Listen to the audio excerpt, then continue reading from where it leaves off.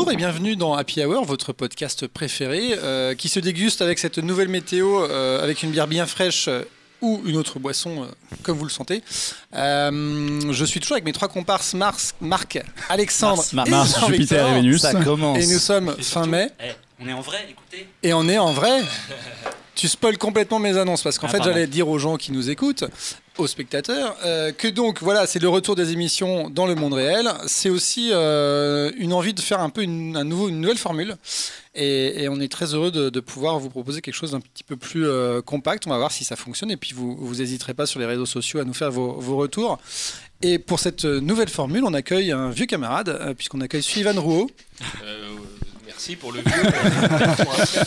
Je te rassure, c'est peut-être moi et Marc qui restons les, les 33 ans patriarches. dans 6 mois, ça va, je, je, du Christ. je savoure encore. Exactement. Et majeur chez les Hobbits. Ah, c'est vrai. Ouais, c'est la majorité La Hobbit, majorité, 33 ans. Ouais, Ouais. Vous voyez qu'on n'a pas perdu euh, nos références. Fun fact.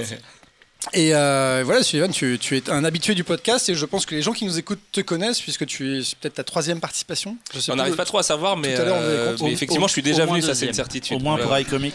Je me Donc- souviens du goût de la bière, je sais qu'ici on boit.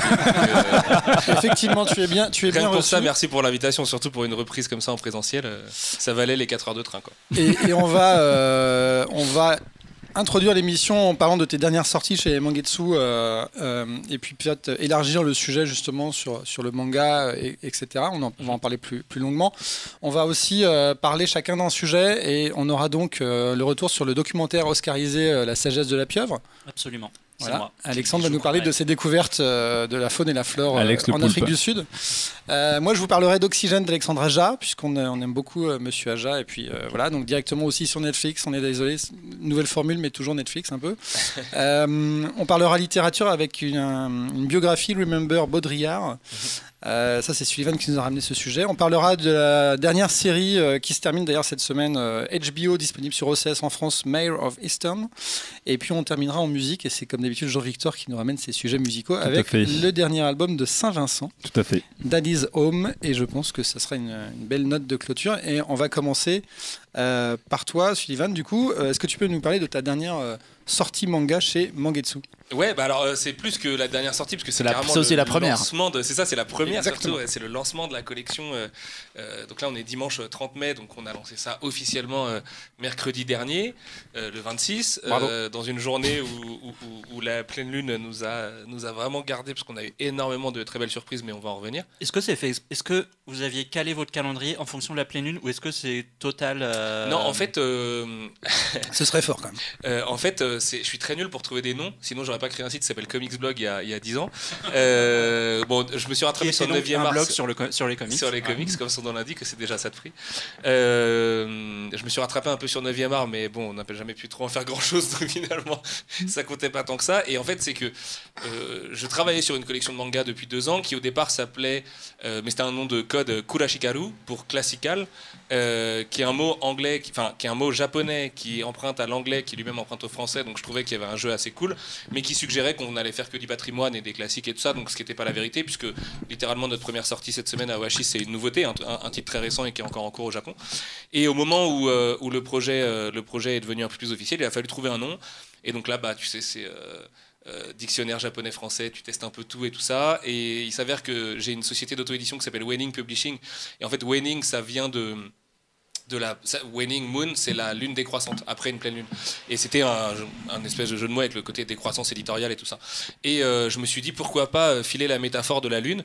Et un jour, euh, un soir, je m'en souviens euh, comme si c'était hier, euh, je suis sur mon petit dico, je tape pleine lune et je vois que ça fait ah oui, parce qu'évidemment il y avait plein de contraintes. Il faut pas qu'il y ait trop de syllabes, il faut que ce soit intelligible, il faut que ce soit facile à écrire, il faut que ça sonne Pro- bien. prononçable en français aussi. Avec Exactement, en parce qu'avec le japonais Ouais. c'est pas toujours le cas et tout. Donc par exemple le R qui fait R en japonais, bah direct c'est piégeux parce que et tu remarqueras qu'aucun éditeur ne met de R dans son, nom pour que tout le monde puisse le prononcer, à égalité.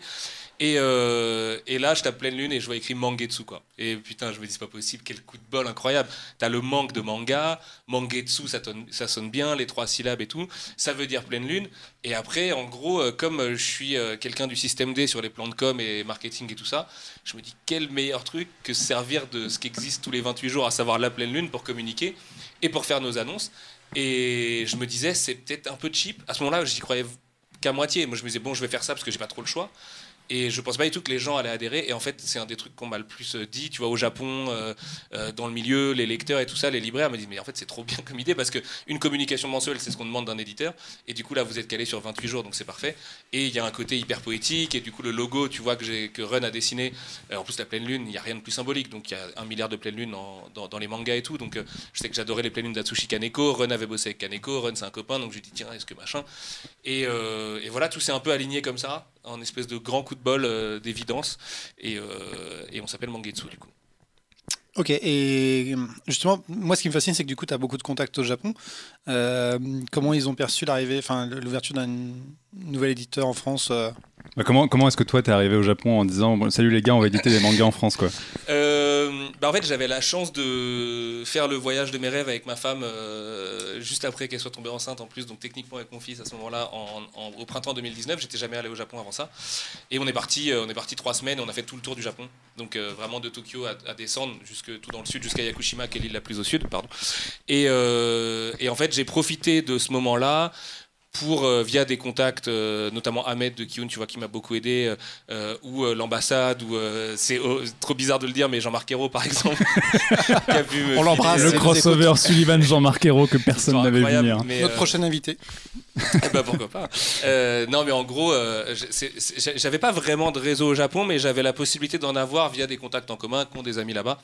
Et euh, par exemple, Fred Tout le Monde, qui est quelqu'un qui est très installé au Japon, qui est le mec qui fait les Black Sad et Last Man et tout ça en japonais Ouais. au Japon, Euromanga, et qui est lui-même euh, travaillé à l'ambassade pendant des années et qui avant ça habitait en France et tout, euh, connaît plein de gens et surtout connaît très bien le milieu et la façon de se de se comporter presque, j'ai envie de dire, tu vois, les mœurs avec les éditeurs japonais qui n'ont rien à voir avec les éditeurs américains, qui sont beaucoup plus business et beaucoup moins dans euh, un échange de marketing, de qu'est-ce que vous pouvez faire pour faire rayonner nos séries et tout ça. Et euh, du coup, j'ai profité de ce premier rendez-vous euh, avec ma femme à son grand dame, où quand j'étais à Tokyo, j'allais un peu faire des rendez-vous la journée à droite à gauche. Et puis Ken Nimura de Kill Giants connaît évidemment beaucoup de gens sur place, et comme c'est un copain et qu'il habite là-bas et qui me présentait un peu la ville, bah, il m'a aussi beaucoup aidé à, rencontrer des gens ça et là. Et après ça, j'y suis retourné à l'automne, mais professionnellement, du coup, pour là un vrai repérage qui n'a pas été fructueux du tout. En fait, parce que hum, j'avais pas de vrai rendez-vous. Donc, euh, et les éditeurs là-bas, c'est pas tu vas toquer à la porte ou à l'accueil, tu dis bonjour, je suis un Français, j'aimerais me lancer. Ils ont déjà suffisamment d'éditeurs avec qui travailler, donc tu peux pas faire ça. Et j'ai beaucoup plus appris en fait euh, le le contexte professionnel japonais, par là aussi un autre biais un peu chelou qui est Hideo Kojima en gros, euh, parce que je suis arrivé au Japon en même temps que le Tokyo Game Show, et, euh, et donc j'étais avec un ami, Julien Chiez, euh, sur place, et donc Julien m'a présenté le Tokyo Game Show, lui il le fait tous les ans et tout, donc, euh, et puis Kojima Sensei et tout ça, donc en fait j'ai pu voir le contexte professionnel japonais, culturel, mais toujours pas l'édition, parce que ça j'arrivais toujours pas. Et en fait en rentrant, euh, je savais qu'il fallait vraiment accélérer le truc, donc j'y suis retourné juste avant le Covid, après Angoulême 2020, donc le dernier Angoulême qui a eu lieu. Et là, j'y suis allé avec des vrais rendez-vous calés avec différentes maisons et avec en gros deux, trois agences. Et euh, bah, tu fais le tour des popotes en fait. Tu, tu, J'avais fait un beau PDF pour présenter la société, ce que je faisais sur iComics, mes envies, euh, quelques. Oui, parce qu'à ce moment-là, quand ça. tu fais le troisième rendez-vous, et enfin le troisième voyage et que tu y vas pour avoir des rendez-vous, tu as quand même des idées des séries que tu veux publier. Ouais, parce que dans le, deux- dans le premier et dans le deuxième voyage, et dans le troisième aussi, j'y suis retourné. euh, avec Ken, on s'est pris une journée entière dans une librairie qui s'appelle Junkudo, comme la librairie euh, parisienne, c'est la même chaîne en fait, euh, qui est à Ikebukuro, un grand grand quartier de Tokyo au-dessus de, de- de Shinjuku. Euh, et je suis resté dans le rayon manga pendant 4 heures et j'ai tout regardé. J'ai. Vraiment, en fait, c'est tellement bien rangé, c'est tellement agréable. Il y a des samples pour tout sous plastique et tout machin. Et puis c'était pas le Covid, donc j'avais pas peur de toucher plein de livres et tout. Euh, et euh, et c'est à ce moment-là, euh, je crois que c'est en, en- bah non, c'est en, c'est en avril, quand j'y vais la première fois, où je vois la couverture d'Aohashi tome 10 et je tombe amoureux d'Aohashi, donc qui est le premier bouquin euh, qu'on sort cette semaine, et d'autres titres, donc certains que j'ai pu avoir, d'autres que j'ai pas pu avoir, évidemment, parce que le manga c'est très très très très compétitif. Et, euh, en fait, j'ai fonctionné comme ça. Donc en rentrant après, bah, je faisais importer les séries, je les lisais d'une manière ou d'une autre.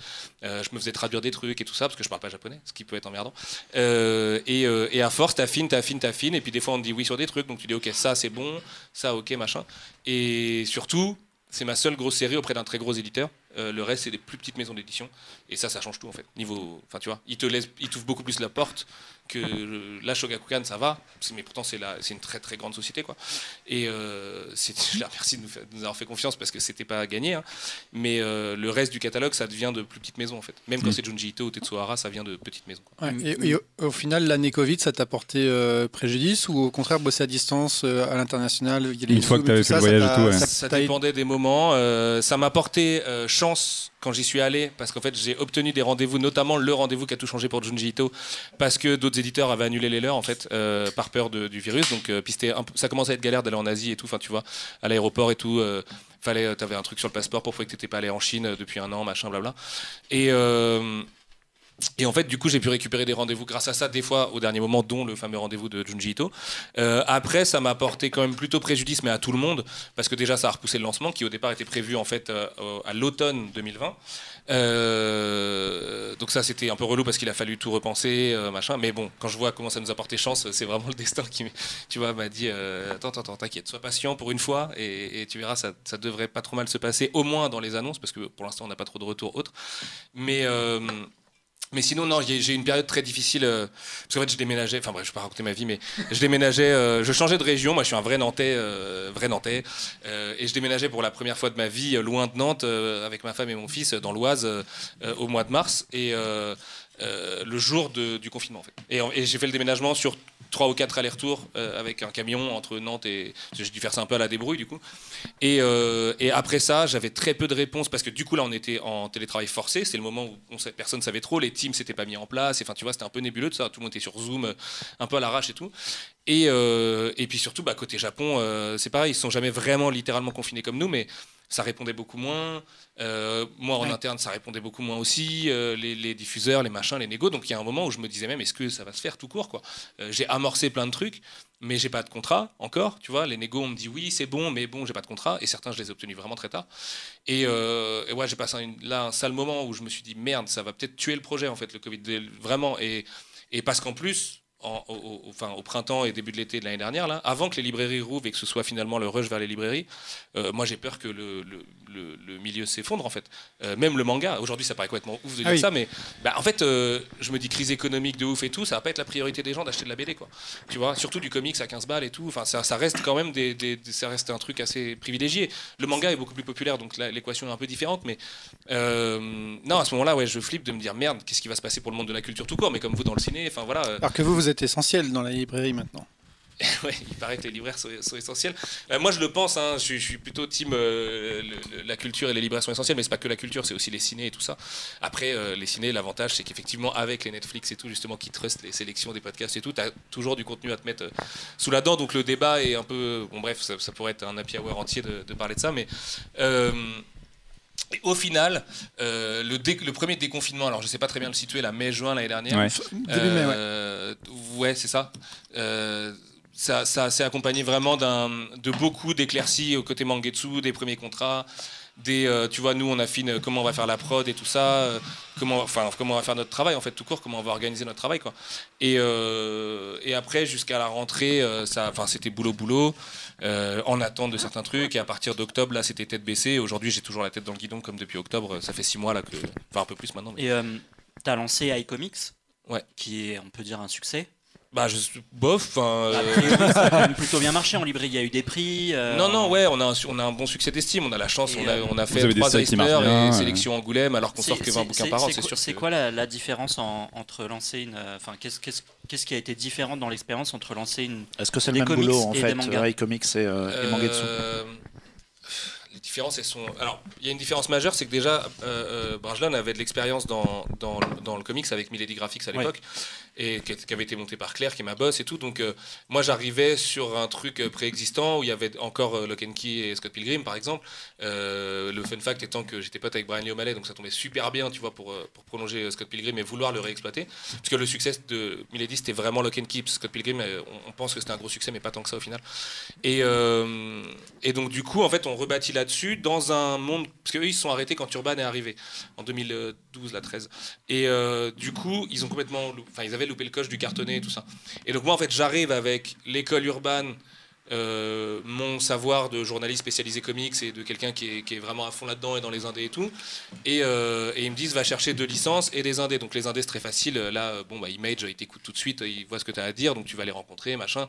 Et puis, euh, et puis tu discutes. Les grosses licences, en- basiquement, tu vas voir Warner et Nickelodeon, tu fais des contrats, et de toute façon, les autres en veulent pas, donc let's go, tu vois.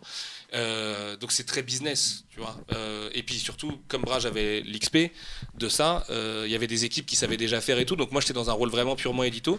Alors que sur le manga, c'est pas du tout la même manière de négocier, c'est pas du tout la même manière de signer des contrats, de gérer des contrats, c'est pas du tout la même manière, c'est pas les mêmes promesses que tu fais en amont. Donc tu vois, tu dois d'abord parler d'un accompagnement marketing, de tes intentions, un peu, tu vois, c'est un peu comme une lettre de motivation en fait, en plus de ton offre. Et, euh, à côté, bah, euh, faire du manga, ça n'a rien à voir en termes de prod. Euh, c'est pas du tout les mêmes équipes, c'est pas du tout les mêmes usages. Un truc tout con, par exemple, mais quand tu génères un PDF, bah, la dernière page, enfin la première, la page 1, c'est la dernière et tout ça. Enfin, tu vois. Et, euh, et ça, il y a ça dans tout. Donc même dans le lettrage, c'est pas la même chose. Même dans l'impression, tu peux pas imprimer du, manga aux mêmes endroits que le comics parce qu'il y a un truc qui s'appelle le moirage, qui est la trame en fait, qui peut rendre un, effet dégueulasse. Donc tous les imprimeurs ne savent pas faire et tout. Et surtout, Brajlon n'avait aucune expérience dans le manga ou presque. J'ai appris il y a pas longtemps qu'ils avaient fait un manga Gwyn Saga il y a, quelques années, mais je le savais même pas. Et euh, du coup, euh, du coup, c'était vraiment une page blanche quoi. Et, euh, et il fallait que je trouve mes prestats, il fallait. et donc c'est pour ça que on avait fait rentrer Black Studio sur iComics avant parce qu'ils étaient spécialisés manga, donc avec l'idée quand même qu'on allait faire du manga plus tard pour voir s'ils étaient bons et tout. Et donc aujourd'hui, c'est nos prestats euh, euh, principaux et, euh, et, toutes les équipes derrière. Il y a aussi leur réseau et tout ça. Mais, mais ouais, non, c'est pas, c'est vraiment pas la même manière d'aborder les choses.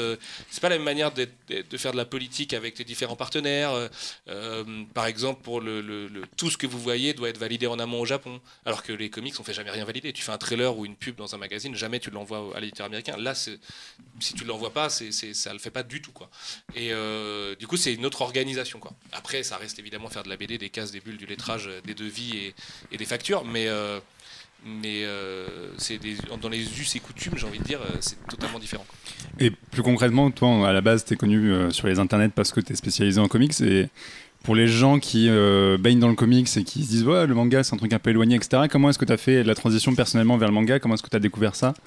Bah, moi, le manga, ça m'est venu avant le comics en fait. Euh. Spider-Man et Batman me sont venus avant Dragon Ball quand j'étais vraiment tout petit. Donc j'avais un pied dans le comics mais sans le savoir. Après les seuls comics que je disais c'était les Batman Magazine avec les dessins façon animated series et tout. euh, jusque dans les années 90 où je disais vaguement du Iron Man et tout mais c'était vraiment pas ouf en plus. Donc euh, euh, n'était pas un truc qui m'a brusqué. Euh, j'ai vraiment pris, moi je suis génération Club Do, hein, je suis né en 88 donc euh, j'ai vraiment pris Dragon Ball, Senseiya, Nicky Larson, euh, Goldorak, Sailor Moon, ça, ouais. euh, Fly, euh, Goldo un peu moins. Ma Goldo, ma nounou en fait euh, avait les cassettes donc je connais Goldo et ça. Mais Goldo Merci c'est la nounou. Gol- Goldo, c'est plus ma génération. En fait. Génération C'est d'avant, plus ouais. les gens Ouais. des 80. Ouais, mais ça ouais. passe encore un C'est un podcast euh, vintage ici. Mais ça me faisait, hilarant. ça me faisait euh, surtriper Goldorak à l'inverse. Enfin, je trouvais ça trop, trop bien quoi. Et euh, du coup, en fait, j'ai toujours été plus manga que comics. Euh, après le comics, j'en ai fait ma vie. euh, en gros, euh, au moment où j'ai abandonné la fac. Ouais, parce que c'est euh, ça, c'est-à-dire que les gens qui, qui te connaissent parce qu'il y a Comics Blog, etc., ça a peut-être pu les surprendre que tu mettes d'un seul coup un pied dans le manga alors que tu avais établi quand même ta carrière sur le comics.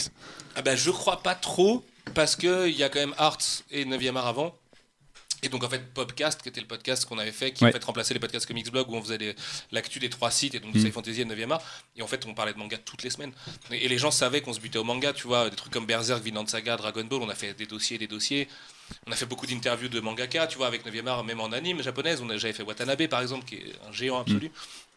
Et, euh, et, puis j'ai jamais trop caché mon amour du Japon. Donc on, m'a pas, j'avais peur qu'on me fasse cette réflexion un peu, mais surtout dans le sens comment est-ce que tu crois que tu peux réussir à faire les deux alors qu'en fait iComics ça va, enfin pour moi ça va très très vite. Euh, Il y a que 20 bouquins à faire, dont des Tortues Ninja et du Lock Key et du Rick and Morty. Donc choisir les, les, les, les bons indés à sortir derrière. En fait, c'est enfin, euh, c'est juste la question de l'embarras du choix parce qu'il y en a plein sur le marché. Il y en a tellement que, que je voudrais faire que je peux pas faire du coup, donc c'est hyper frustrant. Oui, t'as quand même des, bah, des choix cornéliens à faire au final. bah, et- c'est juste des choix cornéliens. Mais Ouais. du coup, ça va super vite. Tu vois, une fois que tu es d'accord avec toi-même et avec ta boss et avec tes boss, bah, euh, tu fais ton offre, hop, let's go, c'est y part, tu vois. Et euh, euh, la 2022 de iComics, vraiment, enfin, vu que je lis des comics encore toutes les semaines et tout ça, je, je, je sais depuis six mois quels titres vont être 2022 chez iComics et tout. Et puis, il y a nos engagements avec certains auteurs, même en indé maintenant, qui font que ça rajoute et ça rajoute. Non, le, le défi avec iComics, c'est plus de rester. Sur l'espèce d'année de grâce qu'on a eu effectivement l'année dernière. On a fait 3 Eisner, sélection officielle à Angoulême, 10 Savage Chance, qui est, qui est un- le plus gros carton de iComics, alors que c'était pas du tout prévu. C'est le Ouais. premier bouquin de cet auteur et de cette, cette maison d'édition américaine-là. Et euh, non, vraiment, on a passé une super année pour iComics. Et c'est ce qui, moi, m'a donné du baume au cœur au moment où j'ai failli jeter l'éponge pour Mangetsu, parce que j'ai failli jeter l'éponge plus d'une fois, euh, jusqu'à réussir à, à la belle fête que- qu'on vit aujourd'hui. quoi. Et moi, j'ai une micro-question avant qu'on aborde la, la sortie de ce premier volume et pourquoi ce, ce manga en particulier pour lancer le, Mangetsu. Mais du coup, moi, je pense vachement au, co- au cover que tu as chez iComics. Euh, Savage Shore, par exemple, moi, je, je l'ai acheté parce que j'ai trouvé la couverture euh, hyper cool et en plus, le, le- le- l'histoire est super. Enfin, on, on en avait parlé euh, ici même. Mais euh, du coup, est-ce que dans les mangas, justement, comme c'est un peu plus contrôlé avec le Japon, tu as plus de liberté avec ça ou, Enfin, t'as- Euh, ça, ça se dé- passe? ça dépend des séries. Alors, et merci euh, de noter, et puis merci d'avoir parlé de Savage Shores, mais de noter notre travail sur les couvertures, c'est vraiment un truc où là aussi, comme on a le luxe de pas avoir beaucoup de titres, on se prend beaucoup la tête. Tu vois, on a changé The Plot. Mm. Là, on a une couverture qu'on a toujours pas pu montrer de Simone Dimeo sur We Only Find Them, qui est Wraparound. C'est la première fois qu'on fait une couve avec tout, le, tout le bouquin, de, le- le- la quatrième de couve et tout ça. Et c'est vraiment un truc sur lequel on se prend la tête, mais c'est super drôle à faire. C'est la partie colonie de vacances, euh, la partie couve. Genre vraiment, euh, t'es là, t'es en réunion, c'est un luxe. Tu regardes toutes les couvertures que t'as pour toi. il arrive, veux ce matin les collègues, on galerie fait et une couve. Wouh Ah ouais, franchement, c'est les. Non, vraiment, vraiment. Parce que mon quotidien, c'est aussi beaucoup de paperasse, d'administratif, de mails et tout ça. Donc, euh, les réunions de couve, c'est les moments préférés euh, de tout le monde, tu vois. Mm. Et, euh, et, les, et les réunions de DA, parce qu'en fait, c'est couve, page de garde, les trages globalement, et puis les bonus à la fin quand on va racheter des bonus. Mais sur, le, sur le manga, en fait, l'usage, c'est de reprendre quand même beaucoup les couves japonaises dans les séries qu'on va appeler mass market, donc les shonen et les seinen très populaires. Euh, donc, c'est pour ça que c'est ce que tout le monde fait, en fait, en gros. Après, tu vois, Ahmed chez Kyun, il n'y a pas longtemps, a lancé les couvertures variantes euh, d'artistes de comics sur My Hero Academia, avec notamment Ryan Stegman et, euh, et Georges Jiménez et, euh, et je sais plus, je veux pas faire de boulette de dire des noms, mais il y a des noms qui vendent vraiment du rêve et il a cartonné sur, sur cette OP. Et, donc du coup sur Aohashi, sur Chihuran, sur euh, euh, Butterfly Beast, sur Keiji, sur Soten no Ken, enfin Keiji et Soten no Ken c'est encore différent, mais on reprend les couves japonaises et on les adapte en fait avec notre DA à nous, mais qui est une DA beaucoup plus euh, dans l'adapta- l'adaptabilité par rapport à chaque titre qui va arriver derrière. C'est pour ça qu'en fait notre dos est assez simple avec la forme arrondie de, de- la lune et tout ça. Pareil là sur la quatrième de couve, machin. Enfin tu vois, on a essayé de faire un truc qui, est vraiment passe-partout avec le petit code couleur euh, des quatre collections. Euh, Tetsuhara, euh, donc euh, Keiji Sotennoken, c'est différent parce que ils ont eux-mêmes publié en japonais un truc où il y a juste la silhouette du personnage avec un fond blanc. Donc là, on va faire une jaquette offset pour faire un espèce de papier un peu crémeux avec, tu vois, un petit peu d'aspérité et tout, un truc super joli. Par contre, sur un auteur comme Junji Ito, c'était dans le contrat de base, on s'était mis d'accord avec eux, on refait toute notre DA, on fait toute la DA. Donc en fait, on reprend votre visuel, le plat 1, donc euh, la couverture, ce qu'on appelle la couverture. Par contre, on refait les logos, on refait tout autour, les rabats, euh, le dos, la quatrième de couve et tout ça. Et on refait, euh, et, et on fait ça à notre sauce avec les effets de fab qu'on veut et tout. Et ils ont dit oui, et on les a convaincus après, au bout de 70 essais entre nous, on, a enfin envoyé un essai qui est passé first try et on était trop contents parce que souvent les japonais aussi vont dire ah non ça plutôt là ou ça plutôt là ou ça on n'aime pas trop ou ça on veut pas et, euh, et sur Junji Ito par exemple c'est une vraie DA créa 100% maison comme on fait pas non plus chez iComics en fait. Et, euh, donc il y a un peu les deux tu vois. Awashi je vais pas mentir c'est pas les coups les plus durs à monter une fois que tu as créé ton logo, qui est quand même une phase assez difficile parce que eux ils ont un logo en kanji, donc euh, il a fallu réadapter et tout, euh, et, que tu places ton numéro de tome sur le plat 1 et que tu fais ton dos et tout. Après ça va, c'est relativement de l'application euh, de tome en tome pour être, pour être toujours au bon endroit. Euh, sur euh, sur euh, Junji Ito, c'est beaucoup plus de prise de tête, mais en même temps c'est trop génial. En vrai c'est un kiff. Quoi. Alors du coup, pour les gens qui nous écoutent et qui connaissent pas Junji Ito, est-ce que tu peux le présenter en deux phrases Bah, c'est le que je sais que c'est un monsieur très important pour toi Ouais, ouais, et c'est pour le maître de l'horreur japonaise. C'est donc il est connu pour Spiral, pour Tomie, pour avoir beaucoup, faire, avoir fait beaucoup de nouvelles dans beaucoup de genres différents et avoir été beaucoup adapté en live action et en animé. Il y a une adaptation de Spiral qui sort bientôt et, et- et d'autres adaptations de nouvelles qu'on va publier qui sortent l'année prochaine, euh, il me semble, sur Crunchyroll. Euh, et c'est surtout un mec en fait qui a été redécouvert sur le tard par les Américains il y a 4-5 ans en gros.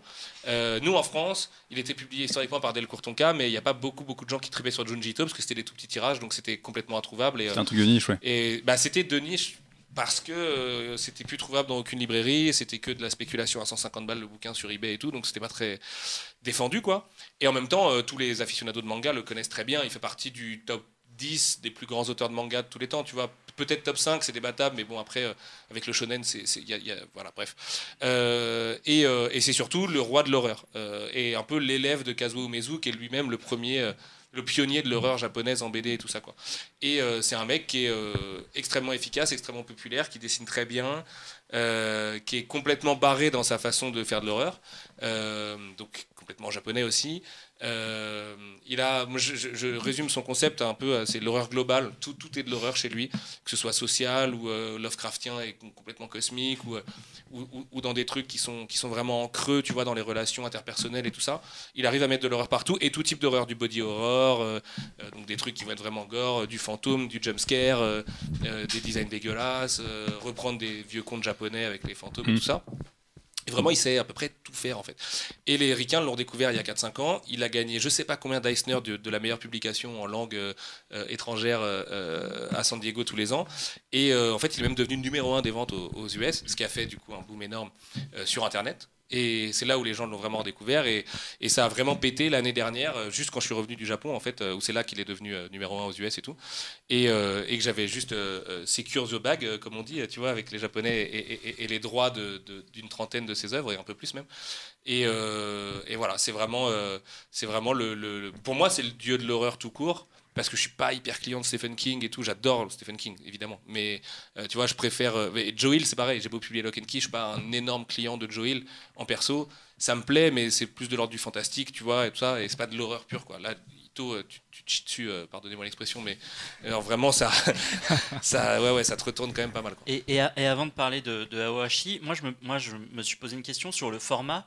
Est-ce que euh, tu as eu peut-être la volonté ou l'idée de faire un format hors classique manga? Parce que là on est vraiment sur du classique de, du classique classique. Quoi. Ouais. Mais alors, Aohashi, euh, c'est un, c'est un titre qui est biclassé euh, Shonen Seinen, parce qu'il est publié dans un magazine Seinen, mais tout le monde sait que c'est un Shonen en gros.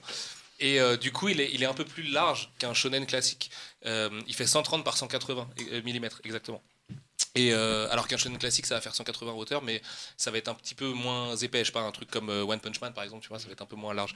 Donc euh, là, on a repris le format classique, et- et- effectivement japonais. Le format agrandi, on le fait sur d'autres bouquins bah, que je vous ai ramené là. Vous aviez le mandala de feu tout à l'heure. Le mandala de feu, il est publié dans un format 130 par 180 au Japon. Nous, on l'a agrandi parce que j'estimais que la qualité du dessin et tout appelait un agrandissement des pages et que comme c'est un one shot, c'est un move qui est vachement plus propice pour un one shot, je, je pense. Je sais pas si c'est vrai, mais je pense. Et, euh, et on fait ça sur Panda Detective Agency et tout au bout du quartier aussi, deux recueils de, de tranches de vie, donc de- d'un genre très particulier, très japonais, euh, où on a le même format que, que le mandala de feu. Et euh, sinon, après, sur un titre Shogakukan, de toute façon, euh, 90% du temps, tu vas garder leur format à eux parce que de base, tu vas même pas essayer de poser la question, un peu, tu vois. Genre parce que tu sais qu'on risque de te dire non. Donc Oui, c'est tellement ancré dans le Et truc puis c'est que. tellement efficace comme ça. Ouais. Oui, oui, oui, oui, oui, bien sûr, bien 0,90 sûr. quoi. Même pour les lecteurs, quoi. C'est quand même Bah, aisément transportable, manipulable. c'est pas cher euh, aussi. Moi, je me souviens qu'au lycée, euh, j'ai eu une période où je lisais pas mal de mangas. Et oui, personne ne le sait, mais. Et euh, c'est vrai que c'est Il y, a pas des cher. il y a des photos de cosplay de toi en mode Dragon Non, non, Ball et tout. J'ai lu, pas mal de trucs. Et c'est vrai que c'est pas, c'est pas cher. Bah, 6,90 pour le coup, ouais, c'est vraiment. euh, Il y, a, il y a Ahmed qui fait encore mieux avec My Hero Academia où il a vraiment. euh, euh, je pense pas qu'il l'ait dit publiquement, moi je peux le dire à sa place. Fait l'effort de rester à 6,35€ alors qu'il en vend 3 millions par an et que 60 centimes x 3 millions ça lui aurait fait pas de mal. Euh, mais pour, euh, pour euh, respecter son lectorat, en gros quoi. Euh, souvent le shonen aujourd'hui est à plus de 7 euros. Donc euh, on s'était battu nous pour rester à, à 6,90. Je pense que c'est le bon prix. En plus, vu qu'il est un petit peu plus large, c'est vrai qu'il coûte un petit peu plus cher évidemment à imprimer. Et, euh, et ouais, pour moi, ça doit être, ça doit être le prix tant que t'as pas d'effet de fabrication. Sur Chiroran, par exemple, on est à 7,90, mais on a une dorure qui nous coûte les yeux de la tête sur la couve, et euh, parce qu'on estime que voilà, la, la série a besoin de cette dorure aussi pour être défendue, être vue euh, et être, être appréciée. Quoi. Et donc, du coup, Aohashi, c'est votre lancement. Ouais. Ça parle de quoi? Awashi, c'est l'histoire d'un petit gamin qui s'appelle Ashito Aoi. Euh, déjà, Awashi, c'est un manga de Yugo Kobayashi, et c'est important de le dire parce que, euh, en fait, Ashito vient de la même région que Yugo Kobayashi, donc le mangaka. Euh, c'est une région qui s'appelle Eime, euh, dont le, chef-lieu, c'est Matsuyama, donc c'est un peu à, l'ouest, sud-ouest de Tokyo. Su- sud ou nord, je sais plus, j'ai un doute, mais à l'ouest en tout cas. Donc c'est une région un peu côtière, mais tu as des montagnes pas très loin et tout, c'est une super belle région a priori. Et c'est donc un gamin de la province qui joue au foot, est surdoué pour jouer au foot et euh, en gros a un tempérament un peu merdique. Euh, le manga s'ouvre sur un hommage à Zidane 2006 avec un coup de boule. Euh, J'y ai pensé de- direct quand j'ai lu la page. Je me suis dit, j'ai entendu le commentaire du- qui disait non, pourquoi Pas- maintenant pas Pas, maintenant. maintenant. Pas maintenant, Zinedine, pas ça, pas maintenant. Et, euh, et euh, bah, c'est vraiment, c'est vraiment dommage parce qu'en fait, Yugo Kobayashi est extrêmement fan de foot. Il est très, très, très calé en football et à la fois dans le football professionnel et donc euh, un peu le truc foot business, tout ça, mais aussi en football à jouer. Et euh, il y a des concepts euh, euh, stratégiques et idéologiques presque même du foot qui sont très très forts dans Awashi. C'est moi ce qui m'a fait vraiment tomber amoureux de la série d'ailleurs parce que je suis un, un, un baiser de foot. Et. Et donc c'est l'histoire de Hashito Aoi. Euh, c'est pour ça Aohashi, en fait c'est la contraction de son de famille et de son prénom. Et ça veut aussi dire jambe bleue en japonais, euh, dans le sens euh, jambe débutante. Donc c'est un jeu de mots par rapport au fait qu'il est débutant au football. Et donc ce mec dans sa campagne, il joue, il a un tempérament de merde, il prend un carton rouge et tout, mais il est surdoué. Sauf qu'il joue tout seul, il est perso, il a jamais intellectualisé le football ni rien. Et un jour il tombe sur un, un coach d'une équipe professionnelle du- de Tokyo qui s'appelle le Tokyo Esperion FC. se balade dans le coin parce qu'il doit aller fleurir une tombe. Et d'ailleurs, c'est un élément euh, posé là et qui sert euh, peut-être plus tard dans l'histoire. Et euh, il tombe sur ce gamin et il hallucine parce qu'il se dit Ok, toi, tu as beaucoup de talent et tout. Donc, il lui fait faire un espèce de petit test et tout ça. Le gamin confirme qu'il a une capacité d'apprentissage hyper forte et surtout qu'il a en fait un, don pour visualiser où sont les joueurs sur le terrain à tous les moments. Mais pas du tout en mode super pouvoir ni rien parce que c'est très réaliste. C'est pas du tout Olivier Tom, enfin Captain Tsubasa. C'est vraiment un contexte réaliste. Il n'y a, pas de frappe spéciale, il n'y a pas de frappe du tigre et tout ça. C'est, on est plus sur un. J'ai été très déçu de voir qu'il n'y ait pas. Pas le Le terrain en feu. Euh, c'est ça, une autre ouais. école. Moi, je suis méga fan de, je suis méga fan de Tsubasa, donc euh, donc je suis pas déçu parce que c'est complémentaire. Mais j'ai beaucoup de gens, euh, j'ai beaucoup de gens qui au contraire étaient heureux de se dire ah euh, ouais c'est pas un truc avec euh, tir de l'aigle et machin, tu vois où le, le gardien se fait péter le poignet Ouais. en arrêtant une frappe et tout, ce que je trouve épique hein, quand ça arrive à Genzo Wakabayashi dans Tsubasa. Moi je suis comme un ouf, mais sur un tir de Levin du Bayern de Munich. Et, et, euh, et il joue pas, il joue à Cologne encore à ce moment-là en plus. Euh, et euh, bref. Aohashi, c'est un contexte beaucoup plus réaliste, qui est en gros un peu l'histoire d'un gamin qui va devoir un peu tout abandonner, parce qu'en fait, il vit dans un milieu très modeste, avec sa mère qui tient un bar, qui, bosse toute la journée, avec son, frère qui s'occupe de lui, mais qui voilà galère, il voit bien que son petit frère, il est bon au foot, mais, à rien d'autre, et qu'en même temps, il a une énergie folle et tout. Et, euh, et moi, ce que j'aime trop chez Ashito, c'est que c'est un, un personnage de développement personnel, en fait. Comme beaucoup dans le shonen Neketsu, c'est un perso comme, euh, je sais pas, euh, Luffy de One Piece ou Goku dans Dragon Ball, tu vois. Sa naïveté, c'est sa force. Et, euh, et, et il a une, une, résilience et une détermination qui, moi, me fait me lever le matin, vraiment. Souvent, je repense à, tu vois, euh, des, des grands moments où il prend des décisions, il dit, OK, vas-y maintenant, quoi. Et on essaye tous de mener notre vie comme un shonen, je pense, tu vois. Enfin, tout le monde, tout le monde est le héros de sa propre vie et c'est- à peu près, ça revient à peu près à dire la même chose. Et, euh, et j'aime trop. J'aime trop euh, les leçons de vie que donne ce personnage. euh, je me reconnais un peu dedans, dans sa Bah, façon de faire des conneries et En, tout. en- et- en fait, c'est marrant parce que quand j'ai lu, moi, je t'ai reconnu un peu dedans. Je me suis dit, ce petit gamin qui vit, qui est quand même, euh, qui vit à 100 à l'heure et qui est juste passionné par ce qu'il fait et qui vit sa passion. Et je me suis dit, en fait, je comprends pourquoi il a kiffé cette série parce que je pense que et qui est trop fougueux et un Ouais, peu concon, un un peu tête baissée. euh, tu t'es un peu identifié Ah euh, ouais, ouais, à lui. complètement. Moi, je m'identifie à fond à Ashito, mais je pense que beaucoup de gens peuvent s'identifier à lui. euh. Et puis, euh, c'est vraiment un honneur euh, que, que tu me dis là, parce que c'est le genre de personnage que, que j'aime dans la vie, quoi. Tu vois, euh, c'est un vivant, quoi. Et, euh, et, et en plus, vraiment, l'auteur, le, le- je vais pas dire qu'il traîne dans la boue, mais il lui fait vraiment passer des sales moments, quoi. Oui. Euh, Parce que là, il y a deux euh, tomes, mais pour les gens qui vont accrocher, il y en a au moins 20 qui les attendent. Ouais, ouais, et ouais, que il y sachant que c'est une série qui est 20, encore en Le tome continu. 24 sort littéralement là, là, cette semaine, et euh, c'est pour l'annonce du tome 24 que, Ouais. que aujourd'hui même au Japon, officiellement, Aohashi est adapté en animé au printemps 2022, ce qui est la meilleure nouvelle que tu peux avoir en tant qu'éditeur dans ta vie. En Surtout le jour je du le lancement. Le jour du lancement, bravo. ouais. Le jour du lancement, c'est incroyable, c'est le coup de bol ultime, quoi. Et euh, et non, ouais, c'est un personnage, euh, c'est un personnage précieux, je trouve. Surtout que euh, je fais un petit aparté, mais euh, je me suis fait très peur sur un truc d'éditeur parce que moi, je me, enfin, tu sais jamais si t'es un bon éditeur ou pas. Tu sais jamais si tes bouquins ils vont plaire parce que pour toi, tous tes bouquins ils sont bons. Enfin, moi, j'ai la chance de travailler avec des patrons qui me font confiance. Donc tout ce que je publie, à part Donjons et Dragons, la légende de Drist, qu'on m'a forcé à publier, mais parce que c'était un bouquin euh, maison, et puis bon, j'assume. hein, en plus, il est, la, DA est très jolie, donc euh, c'est, tant pis, j'ai envie de dire. Enfin, tant mieux. Euh, mais sinon, la- je choisis 100% de mes titres. Et du coup, évidemment, pour moi, ils sont tous bons et tout. En revanche, bah, il y en a qui flopent, il y en a qui marchent très bien, il y en a qui marchent moyennement et tout ça. Et, et donc, sur le shonen, c'est quand même un genre à part entière du manga et celui qui va faire quasiment tenir ta collection, c'est le pilier euh, financier d'une collection.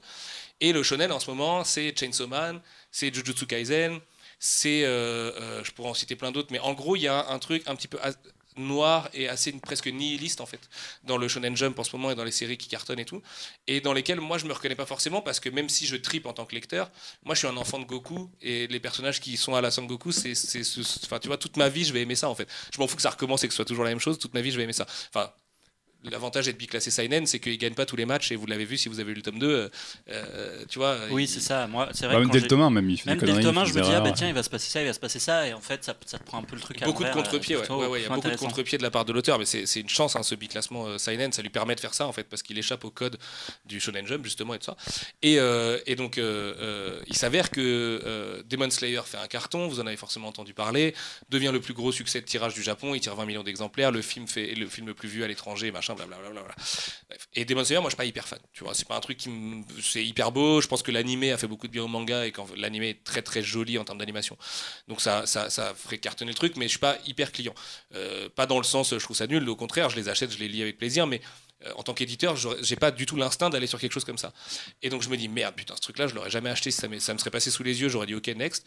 Et après, je vois Jujutsu Kaisen, qui est, qui est plus noir et nihiliste justement, qui fait la même chose, qui redevient une série virale comme on n'en avait jamais eu à part Demon Slayer, et qui fait des millions, des millions et des millions. Et quand Ahmed achète euh, Kaisen pour la France, il me dit ouais, j'ai récupéré Jujutsu Kaisen machin et je dis mais t'es sûr que tu vas vendre ce truc là enfin je fais ça me paraît quand même euh, très bizarre de vendre ça à des ados et tout genre c'est quand même très noir beaucoup d'exorcisme euh, c'est hyper ancré enfin ça, ça, me paraît être un style qui est un peu presque niche tu vois et il me dit, c'est sûr, ça, t'inquiète, euh, t'inquiète. Il me répond ça. Et le truc fait un carton que moi, j'aurais jamais vu venir. Et donc, j'ai passé vraiment. Et je passe encore, parce que je sais pas du tout combien on va vendre d'Awashi. Hein. Euh, j'ai zéro chiffre là, à l'heure où on parle. Je les aurai demain ou après-demain. Euh, mais du coup, je me dis, merde, en fait, en tant qu'éditeur de Shonen, je suis peut-être trop nul. Je suis incapable de sentir une tendance de maintenant.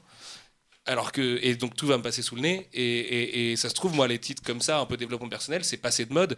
Et aucun ado n'a envie de lire un héros qui lui dit Vas-y, mec, tu vois. Euh, Après, tu as quand même la base du succès au Japon. Enfin, c'est un indice de si ça peut fonctionner, même si c'est pas la même culture. Mais euh. Des séries qui sont tirées à 7 millions d'exemplaires au Japon et qui sont même pas publiées en France, il y en a encore un paquet. Hein. Donc, euh, et puis, euh, et puis tu sais, c'est un contexte très japonais. Il va jouer dans un club de Tokyo, dans le, dans le championnat Oui, mais t'as as quand même le contexte du football qui est hyper populaire chez nous. C'était ma question, c'est que du coup, le football peut aussi aider à, à lancer la série. Moi, c'est ma théorie, parce que je suis un foot-foot, donc ça me permet de faire un truc lié au foot dans ma vie, donc je suis trop content.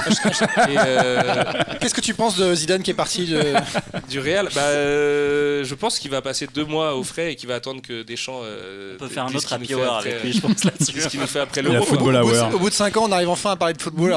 personne, personne regarde de match à part bah euh, moi, mon, seul rapport au football jusqu'à présent, c'était Olivier Tom. Hein, donc. Euh, du coup, il y, y, a un petit rapprochement quand même. Moi, c'était l'école des champions, donc c'est un peu pareil. Et du coup, 2018, demi-finale, vous étiez pour qui?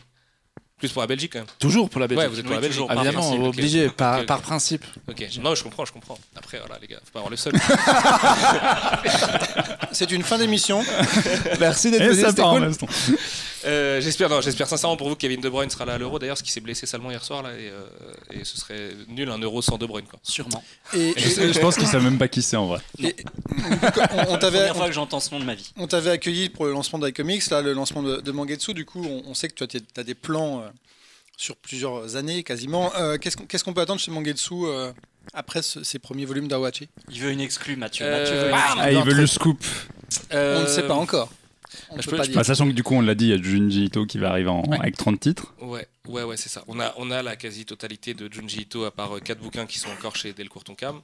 et la volonté, c'est de faire un artbook et de le faire venir en France. Ça, je peux vous le dire. je l'ai juste teasé pour l'instant, mais c'est quelque chose qui est concrètement prévu, surtout maintenant que le Covid nous fait un peu la paix.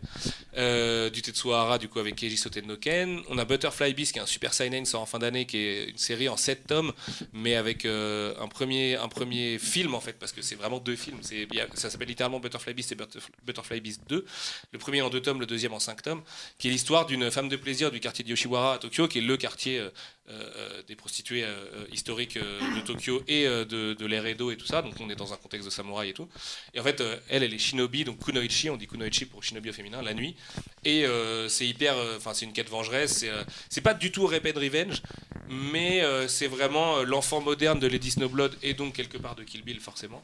et ça c'est excellent, vraiment. Panda Detective Agency, tome 1 histoire de deux détectives à Tokyo euh, qui, vont, qui vont étudier une maladie qui s'appelle la, la métamorphie, où tout le monde se transforme progressivement en animaux. Enfin, tout le monde, certaines personnes, euh, façon Covid, façon virus, se transforment progressivement en animaux. Et c'est le cas d'un des deux enquêteurs qui se transforme petit à petit en panda. Et tu préfères avoir le Covid ou te transformer en panda?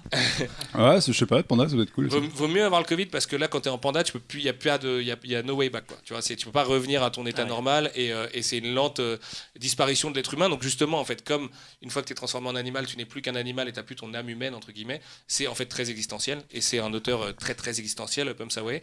Et du même auteur, on a Tout au bout du quartier, qui est un recueil de nouvelles euh, qui est hyper touchant, quoi. Vraiment, c'est très particulier, mais c'est vraiment assez bouleversant. C'est nos trucs un peu drama euh, de l'année, mais vraiment, c'est fort, quoi. Le Mandala de Feu, qui est l'histoire vraie de, de Toraku Azegawa, euh, illustre peintre japonais, euh, bah, un peu même période aussi, Eredo, Danobunaga, tout ça, euh, dans six chapitres qui représentent six périodes de sa vie et qui, en gros, parlent de, des sacrifices qu'on fait à son art quand on est un artiste, donc notamment le sacrifice de son fils, par exemple, enfin, de la relation avec son fils. Et puis Chiruran, euh, Shinsen Gumi Requiem, qui est l'histoire des derniers samouraïs du Japon, euh, qui commence en 1908 avec un, survivant de cette faction. Donc on est vraiment dans le Japon industrialisé, euh, les pierres, euh, les trams, les premières, les, proto-voitures et tout ça. Et on, re- revint très vite, euh, 60 ans plus tôt, où il y avait encore des samouraïs, des mecs avec leur sable dans la rue et tout ça. Et c'est l'histoire du coup des mecs qui ont pas trop voulu que le Japon s'ouvre vers l'extérieur et se réunissent. Donc c'est paradoxal, enfin particulier. Mais qui en fait étaient des têtes brûlées, un peu façon Suicide Squad, mais euh, beaucoup plus euh, samouraï et code d'honneur du samouraï et disparition de l'honneur au Japon et tout ça. Donc moi c'est un thème qui me touche beaucoup parce que je suis un fan de Vagabond et de Miyamoto Musashi, et donc là c'est vraiment ces enfants, mais c'est un peu ces enfants euh, bizarres quoi, tu vois, qui dans un contexte d'ouverture où les armes à feu arrivent aussi. Donc euh, bah, le dernier samouraï typiquement, c'est à la même période que le dernier samouraï avec Tom Cruise. Et, ça c'est une petite pépite vraiment, vraiment vraiment, c'est mon autre grosse série avec Aohashi, mais on n'aura pas les moyens de faire autant de bruit sur Chiroran que sur Aohashi mais c'est tout aussi bien. Et, j'adore ce côté, euh, tu sais que les mecs ils ont une fin tragique, tu peux aller sur Wikipédia après le tome 2, tu sais qu'ils sont tous morts de fait, vu que c'est des vrais personnages et, et certains ont des morts euh, dramatiques. Et euh, et il y a une patate de ouf dedans, c'est un peu le même genre qu'Awashi, très dynamique quoi, vraiment très très. euh, Et et est-ce que vous, vous avez la- aussi la- laissé la porte ouverte à éditer des, des mangas qui sont pas japonais? Mhm. En fait, j'ai zéro, moi j'ai zéro fermeture éditoriale ni à faire de la créa avec des Français. Ouais. Le problème étant les budgets qu'on peut leur donner qui sont pas assez élevés. Donc jamais de, ma vie j'irai filer une avance de 4000 balles à quelqu'un pour, qu'il bosse un an sur une BD. Moi en tant qu'éditeur euh, dans une boîte, je ne laisserai pas passer euh, quelque chose comme ça. Euh, on a eu un projet euh, qui a failli se faire euh, sur une fameuse licence de jeux vidéo polonaise qui est bien connue de notre groupe Ah en bon? Créa et ça ne s'est pas Que fait. vous, vous avez déjà les bouquins en plus Absolument. Le projet est allé assez loin. Je crois qu'on a payé l'échec de Cyberpunk 2077 de plein fouet en fait.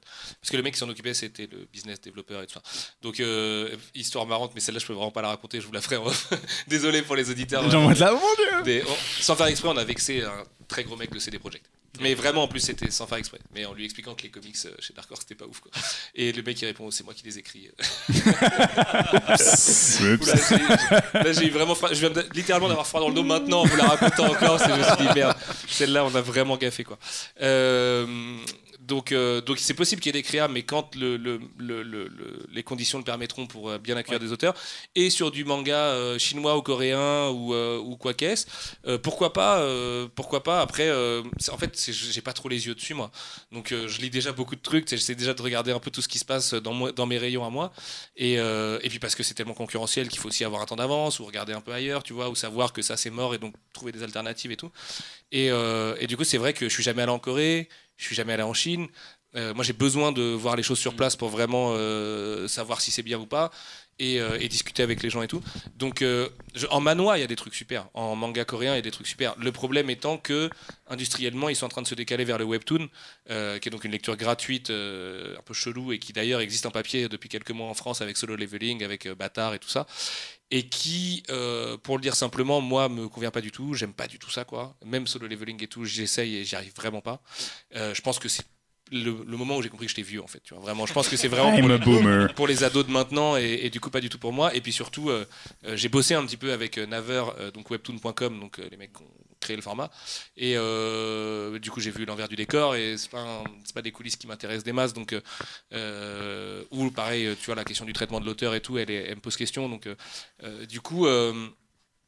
Du coup, euh, le manoir euh, traditionnel, comme on l'appelle, avec des mecs qui vont être prépubliés dans des magazines ou sortir directement des reliés, je sais même pas s'il y en a tant que ça aujourd'hui. Tu vois, je- j'ai même pas l'info. en fait. Mais il pourrait y avoir un original Mangetsu euh, dans les Ouais, prochains mois, ouais, ouais. années. Ouais, ça, c'est possible, ça c'est possible. On a, on a, on a des discussions, euh, soit avec des auteurs qui arrivent avec des super Parce qu'il doit y projets. avoir- euh, doivent y avoir des envies en plus en France, je pense. Ouais, ouais, laisse tomber, laisse tomber. Puis justement, avec ce projet Webtoon pour lequel j'avais fait un appel au projet sur Twitter et tout, moi j'ai rencontré beaucoup de jeunes auteurs jamais publiés qui sont trop forts et qui ont des envies, qui ont des envies et des idées et tout, qui demandent d'être accompagnés pour vraiment euh, euh, donner le meilleur d'eux-mêmes. Mais c'est ce que j'ai fait là sur euh, Moundir chez Ulule avec Bubble Edition où j'ai accompagné du coup l'auteur, enfin j'ai ramené le projet chez, chez, chez Bubble et puis j'ai accompagné l'auteur dans sa création.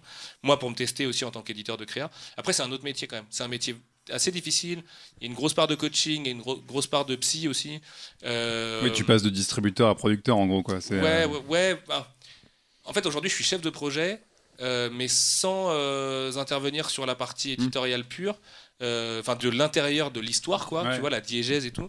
Alors que éditeur en créa, bah, c'est du temps long, c'est chaque planche, faut vraiment prendre le temps, regarder si toutes les cases s'enchaînent bien et tout. Puis quitte à le faire, j'essaye de bien le faire. Donc euh, vraiment, puis là, les conditions étaient cool chez, Bubble parce qu'on avait vraiment le temps de le faire et tout ça. Et, euh, puis Johan est un super auteur qui mérite d'être publié, donc euh, j'avais pas trop de doute sur le fait que ça puisse marcher. Donc on a demandé aux copains, tu vois, Guillaume Saint-Gelin, Mathieu Bablet et tout. Et comme ça, le, projet était un beau succès. hein. je crois qu'ils ont fait 90 000 euros, un truc comme ça, c'est super. Et après, sur le manga, en fait, le problème, c'est que oui, on peut le faire, mais dans les conditions d'une boîte, l'auteur, tu lui donnes un forfait, en gros, euh, parce que ça marche. Dans le manga, en créa de manga, ça marche beaucoup plus comme ça qu'en paiement à la page, parce qu'à la page, avec 200 pages, bah, c'est beaucoup plus cher, euh, tout bêtement. Euh, et donc, en fait, le mec, il a un temps imparti, et le côté 24 heures chrono de la créa, moi, ça me fait pas bander des masses, parce que je crois qu'on sous-estime vachement le fait que les Japonais, ils font ça depuis 100 ans, qu'ils sont organisés en atelier, avec des assistants et tout, et que comme en France, on a Tony Valente, qui est un super mec, euh, et, qui, s'il écoute ce podcast un jour, euh, je lui fais un gros bisou, mais qui est surtout un mutant de l'espace. En fait, lui tout seul, il arrive à faire deux tomes de Radiant par an, mais c'est pas normal en fait. C'est pas du tout normal. C'est vraiment, il a, euh, il a une productivité qui, est, qui, est- qui vient d'ailleurs, vraiment, vraiment. Et, je pense que même la moitié de sa productivité, euh, on est encore loin du compte d'un artiste euh, normal qui veut faire ses 200 planches de manga. C'est hyper long de faire 200 pages, quoi. Et surtout quand tu veux mettre du background et tout ça, et que tu, tu veux pas trop tricher. Enfin, tu vois que tu veux faire un truc très ambitieux. Et, et beaucoup d'amis à moi ont fait la créa manga professionnellement, soit, en, en- soit en tant qu'auteur, soit en tant qu'éditeur. Et on n'est pas câblé pour ça en France, en fait, encore. Euh, on n'a pas compris le truc des ateliers. Bon, si, on l'a compris sur Last Man, tu vois, mais qui du coup était direct un peu différent, et puis qui avait le nom de Bastien Vives pour rayonner et tout. Donc, euh, sur un auteur qui débute, euh, on n'est pas encore câblé comme ça. Donc, là, je sais que Metal Hurlant fait un retour pour de la prépublication d'histoire, et avec après, évidemment, des publications en album avec des super auteurs. J'ai vu la liste il n'y a pas longtemps, ça fait pas mal rêver. Ils seront sur, en, crowdfunding bientôt, là. Mais sur le manga, il y a quelqu'un un jour qui va prendre le temps de monter ça. Il y avait eu Thomas Rouzière qui avait fait ça, qui était su- super bien avec Shonen Jump, euh, son magazine à lui, mais qui était très fanzine et avec des, jeunes auteurs et tout. Mais je pense qu'un jour, il y a une maison d'édition, je lance l'idée, si quelqu'un n'a pas la flemme de s'y mettre, euh, faites, faites un weekly Shonen Jump français et lancer des auteurs dedans. Ça, il y a- ça je pense qu'il y a un potentiel de ouf là-dedans parce que les lecteurs ont envie d'importer la culture euh, japonaise de plus en plus. Et euh, tu vois, euh, aujourd'hui, un jeune lecteur de manga, il sait ce que c'est qu'un tankobon ou un- ou un kanzenban. Moi, quand j'avais 15 ans, je savais pas que kanzenban, ça voulait dire édition de luxe et tankobon, c'était ça, une édition Moi j'en ai classique, quoi. 31, je sais pas ce que Ben c'est. voilà, tu vois. Et, euh, et aujourd'hui, le, le- le lecteur de manga de 15 ans, il est plus calé que moi dans la culture japonaise, en fait. Et donc, du coup, je pense que ça, ça pourrait bien s'importer. Mais et ça, en fait, la prépublication, ça permet de payer tes artistes au mois et donc quasiment des salariés. Et donc, en fait, à la fin, euh, euh, quand tu vas publier le volume relié, ils vont direct avoir des royalties dessus. Donc, c'est hyper intéressant pour eux financièrement. Euh, mais le problème, c'est que euh, c'est chiant à distribuer. Aujourd'hui, vraiment, la BD, c'est dirigé par la diffusion et la distribution. Donc, ce genre de projet, c'est chiant à distribuer, à mettre dans les librairies, à faire comprendre à tous les libraires et à tous les lecteurs qui vont se balader dans l'énorme territoire qu'est la France, la Suisse, la Belgique et tout ça, quand même, parce que c'est ça la vraie équation. hein. C'est pas que la librairie parisienne où on est tous à peu près au courant de ce qui se passe, quoi. Et euh, je pense que c'est pour ça que ça se fait pas. Et, voilà. Par contre, si un jour mes boss me disent, OK, euh, tu peux mettre 18, 19, 20 000 euros d'avance pour un auteur pour qu'il fasse un tome 1, euh, et après, si, si le tome 1 se vend bien, on te suit bah là, euh, et, et qu'il a un an et demi pour le travailler, là on ira. Mais pff, pour l'instant, franchement, on est loin de, de ces chiffres-là. Donc euh, euh, c'est pour ça que je veux pas. The Witcher, du coup, parce qu'on peut le dire, euh, c'était différent parce On que Oui, t'as la marque déjà Ah bon qui assure un truc. il y a la marque, et puis bah, du coup, tu sais que tu investis dans un truc qui, pour le groupe, est euh, quasiment garanti d'au moins pas perdre d'argent. Donc, euh, ton auteur, tu peux te permettre de bien le payer, et, voilà. Mais euh, bon, des, contextes comme ça, il n'y en, a pas- il y en a pas des milliers des cents non plus. Et puis, c'est très très fatigant de faire de la créa, vraiment. Et, et donc tout ça pour dire que Aohashi, c'est super cool. Oui, parce que nous, on, on l'a tous lu, lu, en fait. On, sachant en- que on en a rien dit. Quand comme tu as pu le voir, on n'y connaît que dalle au foot. On Ouais, regarde pas de match. Alors déjà, on n'est pas des non, gros lecteurs de manga, voire quasiment pas. Et euh, oui, en plus, Ouais, euh, autour de cette table, cool. euh, c'est plutôt de la haine pour le, milieu Oui, du football que de l'amour. Qu'en as-tu pensé, Alexandre? Euh, non, moi j'ai trouvé ça assez cool. Euh, alors, euh, en termes de, de, de culture footballistique, euh, ma connaissance est proche de zéro. en termes de culture de manga, Du moi coup, la quand. référence à Lewandowski, jeu à la nantaise et tout. Non, moi il y a euh, des trucs je comprenais pas trop, mais après, ex- après c'est expliqué, donc je me dis ok ça va, c'est bon, c'est expliqué C'est pour, l'avantage pour du les gens comme moi. ils expliquent un peu. ouais. Euh, C'est pour ça que tu l'as prise, parce qu'il y a un- du, du jeu à la nantaise dedans. Euh, non, parce que c'est une, adaptation pour la France en fait. Euh, Ah, il a Ah. tout de suite Et, euh, Ouais. il a- il Non, a non, non, Et le premier non, truc que t'as mis, c'est Nantes, Pour quoi. le coup, je vais défendre euh, ma chapelle de Nantais et de fans de foot. Dans la culture foot, le jeu à la nantaise, c'est un vrai, vrai truc. Euh, c'est en gros euh, euh, ce qui a créé le jeu de l'Ajax et du Johan Cruyff et du Barça derrière. C'est le jeu à une touche de balle qu'on doit à un monsieur qui s'appelle Coco Suodo, qui a fêté ses 89 ans cette semaine, qui est une légende absolue du FC Nantes, qui a été champion de France plusieurs fois et tout. Et, euh, et en fait, dans la version japonaise, il disait euh, euh, c'est le jeu à une touche de balle. Genre. Et, euh, et donc, on a demandé à l'auteur si ça ne le dérangeait pas, et on lui a expliqué. Il dit non, mais je sais ce que c'est que le jeu à la nantaise. C'est un concept qui, même en Espagne, tu dis jeu à la nantaise, ils connaissent. En fait, les gens connaissent Nantes pour le jeu à la nantaise en général dans le monde. Et, et- et non, Est-ce que t'as coup, choisi euh, Awashi juste pour ça? J'ai trouvé ça hyper dynamique et en fait surtout j'ai trouvé ça euh, j'ai trouvé le personnage euh, super attachant et, euh, et assez émouvant dans son dans son, dans son côté passionné mais euh, Bah, ouais c'est- ça, ça, c'est ça mon donne petit ça- pari, hein. C'est mon petit pari que les gens tombent amoureux d'Achito. ça, ça- donne envie de ça donne envie de lire la suite alors le problème c'est aussi pour ça que j'ai arrêté de lire des mangas parce que j'avais lu quand même euh, ouais pas mal de j'ai lu euh, One Piece euh, Ouais. une bonne trentaine de tomes et Samurai Deeper Kyo Ah, et Nana et aussi Dreamland c'est pour ça que je te, De je te la question ouais, ouais. carrément. Et, mais en fait, c'est c'est- c'est quand même, ça peut être un gouffre à thunes, quoi. Ouais, euh, après, euh, vu que ça coûte pas trop cher Oui, voilà, euh, par heureusement. rapport aux comics, Oui, tu vois, c'est tu clair, par rapport aux comics. aussi, euh, Ouais, c'est on sait que- Oui, parce que deux tomes, la- c'est le prix d'un seul tome de comics. En fait, La ça revient un B- peu la même. BD euh, franco-belge, j'ai- euh, J'ai trouvé ça hyper ouais, touchant, hyper prenant, et même pour quelqu'un qui n'y connaît rien au foot, euh, l'histoire peut être transposée dans Ça freine pas, presque ouais. un peu n'importe quel, euh, quel milieu, en fait. Et Ouais, c'est- ouais. c'était assez, assez touchant. Ah ouais, c'est sûr, tu mets les règles du baseball, ça te fait. Mm. T'as le même manga, hein, si le personnage il est comme ça derrière, euh, tu vois le contexte avec sa mère et tout. euh. C'est marrant parce que c'est souvent les gens qui aiment pas le foot qui, qui adorent Awashi parce que. Alors les fans de foot, ils adorent la partie footballistique et les autres, ils adorent Ashito, ma femme, Ouais. Halt et tout ça. Ça a vraiment marché. euh, euh, via ce personnage-là, quoi. Et le tome 3, du coup, pardon, euh, pour pas spoiler, euh, moi, c'est quasiment mon tome préféré de toute la série. Déjà parce qu'il a une couverture magnifique et qu'il y a une scène dans le premier tiers qui m'a ému qui aux larmes Qui sort en juillet. qui sort le 7 juillet ouais, Ouais. ouais.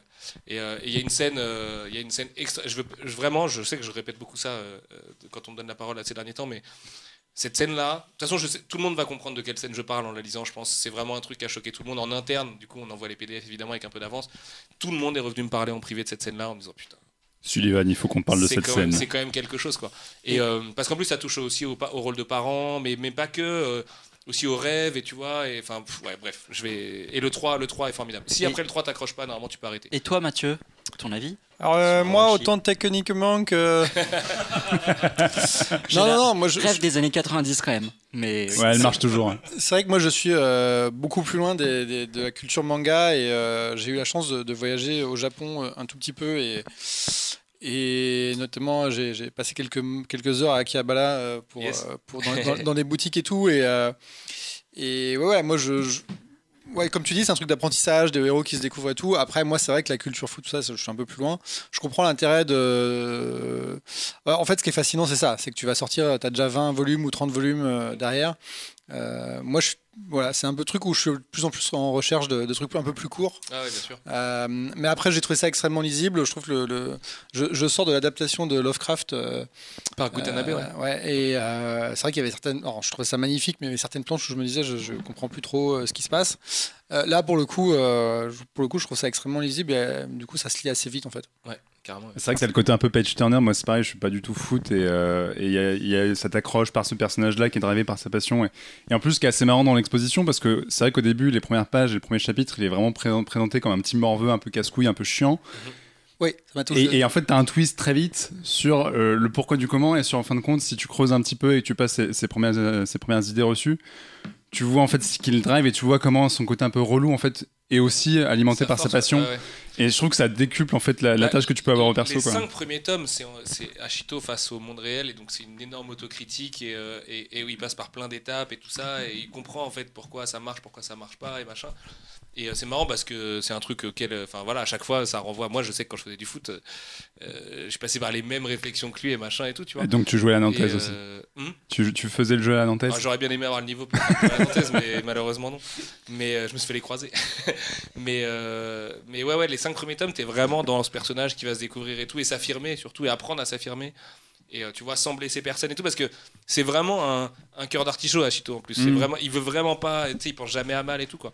Et un peu comme moi quoi tu vois. Moi j'ai le regard dur euh, je peux avoir l'air méchant et machin mais en fait Mais c'est euh, marrant parce que je suis moi, le mec le plus gentil du monde je souhaite le, tout le bonheur à tout même mes pires ennemis je leur souhaite du bonheur. C'est marrant, c'est qu'en le lisant, moi, en fait, ça m'a fait repenser euh, quand je jouais au foot dans la cour de récré euh, au collège, etc. Et en fait, dans l'attitude du gamin, je revoyais l'attitude de certains de mes camarades qui étaient en mode Ah, mais t'as mieux, machin, etc. exactement Et en fait, c'est hyper juste là-dessus sur la peinture de comment les mecs s'incarnent au travers du jeu et où tu vas voir les personnages qui sont individualistes et qui, qui disent euh, je, je vais traverser le terrain avec la balle et tu fais non, non, tu vas faire de la merde. Otomo par exemple qui est mort de stress qui est le petit avec la coupe en brosse qui Ouais. est mort de stress avant les matchs qui intellectualise tout machin et qui sur le terrain en fait devient une espèce de leader incroyable parce que le mec bah il sait replacer les gens il est hyper froid il est, il est hyper analytique et tout et, euh, et la complémentarité entre tous ces persos il y a en gros 7-8 persos vraiment clés dans, dans, dans Aohashi un peu plus après le tome 15 mais euh, qui vont former le Tokyo Esperion euh, en gros au bout d'un moment et, euh, et des bons, des mauvais, euh, le syndrome Vegeta, de machin, de, des, des méchants qui deviennent gentils, de, de, de- des potes avec qui il va se prendre la tête pour des raisons débiles, mais où en fait justement cette autocritique va s'incarner sur trois chapitres, où il va se dire mais pourquoi en fait ils me font la gueule? Et en fait ça passe par le jeu et tout ça. Et euh, puis le personnage du coach devient complètement génial aussi au bout d'un moment, parce qu'il est vraiment fêlé en fait. Dans les deux premiers tomes on voit pas trop à quel point il est, il est, il est fou, mais en fait il est vraiment fêlé le type. Genre il a un pet au casque, et c'est son pet au casque qui fait son génie, et qui fait qu'il lui il croit à son projet de je veux former une génération japonaise tellement forte qu'on va rivaliser avec les plus grands clubs européens, Mm. ce qui, dans un monde réaliste, ne peut pas vraiment se produire. Et c'est d'ailleurs la Belgique qui a éliminé le Japon à la dernière Coupe Exact. du Monde. Euh, et je crois que le Japon menait 2-0, et au final, il s'effondre physiquement, parce qu'en face, tu as des Lukaku, des De Bruyne, et tu vois des mecs qui jouent 80 matchs par an à- à- au très très haut niveau. Et euh, je crois que les Belges euh, partent en contre-attaque, gagnent 3-2, tu vois, et ça fait super mal pour le Japon. Et ça leur a vraiment... euh, ça leur a vraiment scié les pattes et tout. Et, et, euh, et- et une des réponses que le Japon veut trouver pour ça, c'est la formation et de, de leurs jeunes et continuer à progresser. Aujourd'hui, il y a de plus en plus de joueurs japonais en Europe et tout. Et en fait, Aohashi Ah oui, donc le, contexte de base de Aoshi, il est réaliste. Oui, c'est ça- 100% ça- ça existe. Ah ouais, ça existe. ouais. C'est Ouais, pas juste réalisé dans le traitement, mais le, fait que les clubs prennent des gens, etc. Le Ça Tokyo sent, Superior que, FC. ça sent que c'est pas du tout un truc inventé. Non, euh, ouais, ouais. Bah, le to- son club est inventé, du coup. Le Tokyo Superior FC n'existe pas en vrai. Mais en fait, il prend la place d'un autre club. L'organisation, etc., ça, c'est comme ça. Quoi. La marque, mais voilà. Par contre, sinon, la G-League et les autres clubs contre qui ils jouent, c'est des vrais clubs. Et. Et après, il y a même des vrais joueurs. Quoi. Et, et pour un peu conclure sur le sujet, euh, tu vas, tu vas faire paraître les prochains volumes à quel euh, Euh, un tome tous les deux mois, du coup. Donc là, c'est moins que ça sur euh, jusqu'au tome 3, parce qu'en fait, on a à peine un mois et demi d'écart vu que c'est le 7 juillet. Bon, c'était un peu volontaire aussi. Euh, mais sachant que le 7 juillet, on a Panda Detective Agency, Tomier et Awashi tome 3, c'est vraiment l'alignement de pff, des grosses sorties. Et en fait, dans le mois où il n'y a pas de Awashi, il y a Chiroran, du coup. Donc en fait, tous les mois, bon, au début, il y a deux tomes pour lancer, mais après, tous les mois, tu viendras choisir chercher Chiroran Tu sur auras tes deux séries qui vont s'alterner pour que tout le temps, chaque fois, il y a. T'aimes pas trop dormir, toi. hein Euh, non, bah, franchement, ouais. non, j'ai une super équipe, surtout dont un membre est- se, se- se- et se situe en face de moi, puisque Jean-Victor, pour les gens qui ne le savent pas, réalise les vidéos de Mangetsu et de iComics aussi. Il est vrai. Euh, mais euh, non, non, j'ai une pure équipe. euh, ça va. euh, mais là, en plus, euh, ah oui, j'ai une bonne nouvelle à partager. euh, on embauche quelqu'un à partir du 7 juin, qui s'appelle Cool. Carole Fabre, qui est adorable, qui a un profil de production euh, super solide, qui est passé par des boîtes super solides, qui, est- qui est- qui est- qui a vraiment l'air génial et qui a l'air de, de savoir faire plein de choses que je sais pas faire et tout. Donc euh, l'équipe s'agrandit, on va pouvoir se partager un petit peu la tâche. Et euh, non, ça va. Ce qui me fait pas dormir, c'est plutôt la négociation des licences et tout. Mais, euh, mais ça va. hein. En vrai, depuis que je suis papa, de toute façon, tu connais, hein, j'ai pas le choix. hein. Moi maintenant. euh, Oui, de toute façon, t'as réveillé c'est quoi, dormir. Donc, euh, euh, non, mais même, c'est genre, je me couche à minuit je me lève à 7, 7h30, ça va. Ah oui, J'ai la la chance chance. d'avoir un gamin qui, qui dort pas trop mal. donc. Et, et, et fais-nous rêver, du coup, tu repars au Japon bientôt? Écoute, euh, la vraie question, c'est euh, quand est-ce que je me fais vacciner? Parce que je ne me suis pas du tout intéressé pour le moment. Euh, parce que j'étais vraiment. Quand je vous dis que j'étais tête dans le guidon, c'était vraiment tête dans le guidon, dans le staff, quoi. Donc, le- et puis, comme là où j'habite, vu que j'habite dans la maison et que je sors pas, le Covid, c'est un, un truc un peu lointain pour moi. Donc, en fait, c'est la question du pass sanitaire, de quand est-ce que- enfin, quand est-ce qu'ils vont Hmm. accepter qu'on y retourne? Je sais que ça va être l'exode. De, gros weeb euh, dès que ça va dès que les frontières vont ouvrir et on va se retrouver qu'entre expats euh, tu vois à Shinjuku et, et, et à Shibuya euh, Il va, y avoir un avion avec tous les éditeurs de manga français qui Ouais, part à Tokyo. oui, Quoi. tu vois, il y a ce truc, tous les rendez-vous vont être pris en même temps, je sais pas, euh, j'aimerais bien d'ici la fin de l'année. En fait, ça me manque surtout d'un point de vue perso, parce que j'ai beaucoup d'amis là-bas, et, euh, et des amis qui sont partis vivre là-bas, en fait, aussi, il y a peu de temps. Et, et mon meilleur ami qui habite aux US, on, on a ce truc de, on se retrouve au Japon, et, et voilà, donc ça fait hyper longtemps qu'on veut se voir et qu'on veut que ça rouvre et tout. J'espère d'ici la fin de l'année, mais j'en ai franchement aucune idée. Euh, et puis bah, autre chose, quand tu as un petit, c'est dur de partir en fait. hein. C'est quand même vachement plus dur. hein. Euh, déjà, rien que là, un après-midi, euh, ça, me- ça- ça me tord le bit de savoir ce qu'il fait. Donc, euh, partir 7 jours au Japon, c'est costaud quoi. Je l'ai fait quand j'avais vraiment pas le choix là en février, mais, mais, mais, mais c'est surtout ça en fait qui me fait flipper. Quoi. En tout cas, bonne, euh, bonne continuation à Mangetsu. On suivra les prochaines sorties, on Carrément. un peu tout ça. Et du coup, merci, les gars. euh, achetez Awashi parce que c'est. Ouais, C'est vachement Même- bien. même Parce que même si vous aimez pas le foot, si vous aimez pas le foot, c'est super cool. Bah, c'est très cool, ouais. Et, et essayer d'apprendre un peu le jeu à Nantaise, euh, c'est important. on, va, on, va, on va quitter le, le monde du football pour le monde de la plongée. Ah. Oh, Ça, il c'est l'a travaillé. Nouvelle formule, euh, j'ai beaucoup Bah, bossé les, les transitions ce mois-ci. Et on va parler d'un documentaire euh, oscarisé, s'il vous plaît, euh, qui est disponible depuis quelques moments, de, Quelques temps déjà ouais, sur Netflix. Exactement. Donc je voulais Pour en moi, fait ouais. moi vous parler de la, la sagesse de la pieuvre, ça commence bien. Euh, sortie sur Netflix. Ça a failli faire un Chasse-pêche. Et donc oscarisé pour le meilleur film documentaire euh, cette année. Donc en fait, je vais vous un peu vous raconter l'histoire de, de, ce, de, ce- de ce documentaire au, au titre un peu bizarre. Donc tout commence en 2010 quand le producteur euh, Craig Foster, il est un peu proche du burn-out et euh, il décide en fait euh, ben, d'aller plonger tous les jours. Peu importe la météo, peu importe le temps. Voilà, il habite en Afrique, du, et en, A- en Afrique du Sud à Cape Town. Et à savoir que ce producteur, il est aussi réalisateur, il produit des documentaires et du coup il documente évidemment ses plongées. Et un jour, en fait, il va faire la connaissance d'une pieuvre et il va décider simplement de la suivre et d'analyser son comportement pendant un an, sachant que, j'ai appris ça dans le documentaire évidemment, qu'une pieuvre vit, vit pendant un an. Euh, donc il gagne la confiance de l'animal et il y- a entre eux une espèce de connexion, d'apprivoisement qui, euh, qui se lie en fait, ils s'apprivoisent l'un l'autre. Bon alors c'est vrai que dit comme ça, c'est un petit peu chelou, c'est un mec qui est en train de faire une dépression, C'est- On dirait une vanne. C'est un mec, il est en train de faire une une dépression et un jour il plonge et il croise une pieuvre. Ben, J'y ça. reviendrai. Euh, il faut garder en tête que c'est pas un documentaire animalier, c'est plus un film, en tout cas moi comme je l'ai ressenti, sur la relation que l'homme peut avoir avec- avec la nature. Et forcément, euh, c'est un film qui nous fait un peu relativiser sur notre place dans la planète. Alors je vais un peu rentrer dans la psychologie de comptoir et un peu raconter ma life. En fait, ce documentaire, moi, il m'a donné exactement la même sensation que euh, quand j'avais fait de la, la première fois de la plongée sous-marine. Avec ton chat. Euh, non, pas avec mon, ah, un petit peu avec mon chat aussi, c'est vrai. Mais en fait, la première fois où j'ai fait de la plongée sous-marine, je suis arrivé dans cette espèce d'immensité d'océan avec, enfin, un autre monde et je me suis dit, mais en fait, nous, on n'est rien du tout. On est de la merde. C'est, c'est, On c'est- est une goutte dans un c'est océan. ça, on c'est ça, c'est la psychologie de comptoir, mais je me suis dit on n'est rien du tout face à un espèce de monde euh, qui est euh, sous nos pieds et qui qui est juste euh, absolument hallucinant et c'est euh, c'est ce que j'ai ressenti devant ce devant ce documentaire et c'est un peu la, la volonté aussi qui en ressort, notamment évidemment en mettant en mettant en avant l'intelligence de la pieuvre et ses stratégies, notamment, enfin, il y a un passage assez hallucinant où elle se fait. Alors, j'ai appris l'existence d'une sorte de requin qui s'appelle le requin pyjama. C'est pas une vanne, c'est un, donc un requin qui rayait, Qui est terrible en plus. comme si, comme s'il y avait un. dangereux, du coup. Ab- Absolument, c'est un requin super dangereux, malgré son nom. Et euh, et il y a tout ce passage où en fait, elle, elle- c'est un animal quoi, et, et il essaye de, de trouver une, une stratégie pour euh, pour euh, s'échapper euh, à ce requin-là. Et bref, c'est absolument euh, absolument fascinant. Et j'ai trouvé que c'est vraiment c'était un documentaire. On en parlera parce que je sais que euh, tout le monde n'est pas d'accord avec moi. Euh, c'est un documentaire qui est super émouvant, encore plus parce que ben moi c'est vrai que depuis que j'ai un animal de compagnie, je suis encore plus attaché à la cause animale et je me dis en fait ces petits trucs là, bah, c'est super intelligent et euh, et, et c'est vrai que ben je lisais justement cet après-midi que les pieuvres, euh, ça, ça avait à peu près l'in- l'intelligence équivalente à celle d'un chien. Donc, tu te rends compte, Mathieu? C'est un aquadog. Et alors moi, moi je, je suis pas très bête, hein, donc ça m'a Tu- pas beaucoup touché, mais Et surtout, en fait, je trouve que c'est très beau comme documentaire. Je trouve que c'est un Esthétiquement, des- esthétiquement, ouais, magnifique. Il y a vraiment des plans super, super beaux. Donc, à la base, euh, pour vous remettre un petit peu dans le contexte, donc le, le producteur.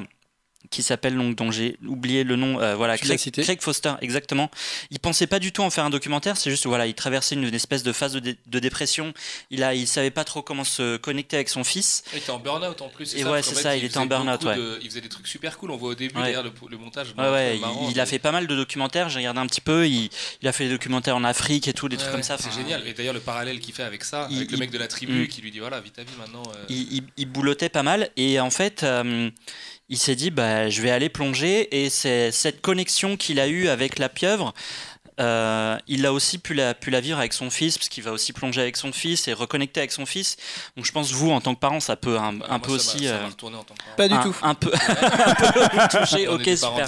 Merci. Et en fait, en fait, en gros, euh, bon, cette histoire, c'est c'est quelque chose qui a eu lieu il y a 10 ans. Ça, ça a eu lieu euh, ouais, en, en 2010 et en fait euh, ben, simplement il a, il a plongé, il a filmé ses plongées, Euh, il était vraiment tout seul avec sa Peut-être les caméra. images et tout, c'était il y a 10 Alors ans. ouais pas tout, mais je- les images avec la pieuvre c'était il y a 10 ans. C'était assez récent, ouais. C'était il y a 10 ans. Il y a un article super intéressant qui t'explique tout le making-of, euh, parce qu'il a lancé en plus de ça une association, Ouais.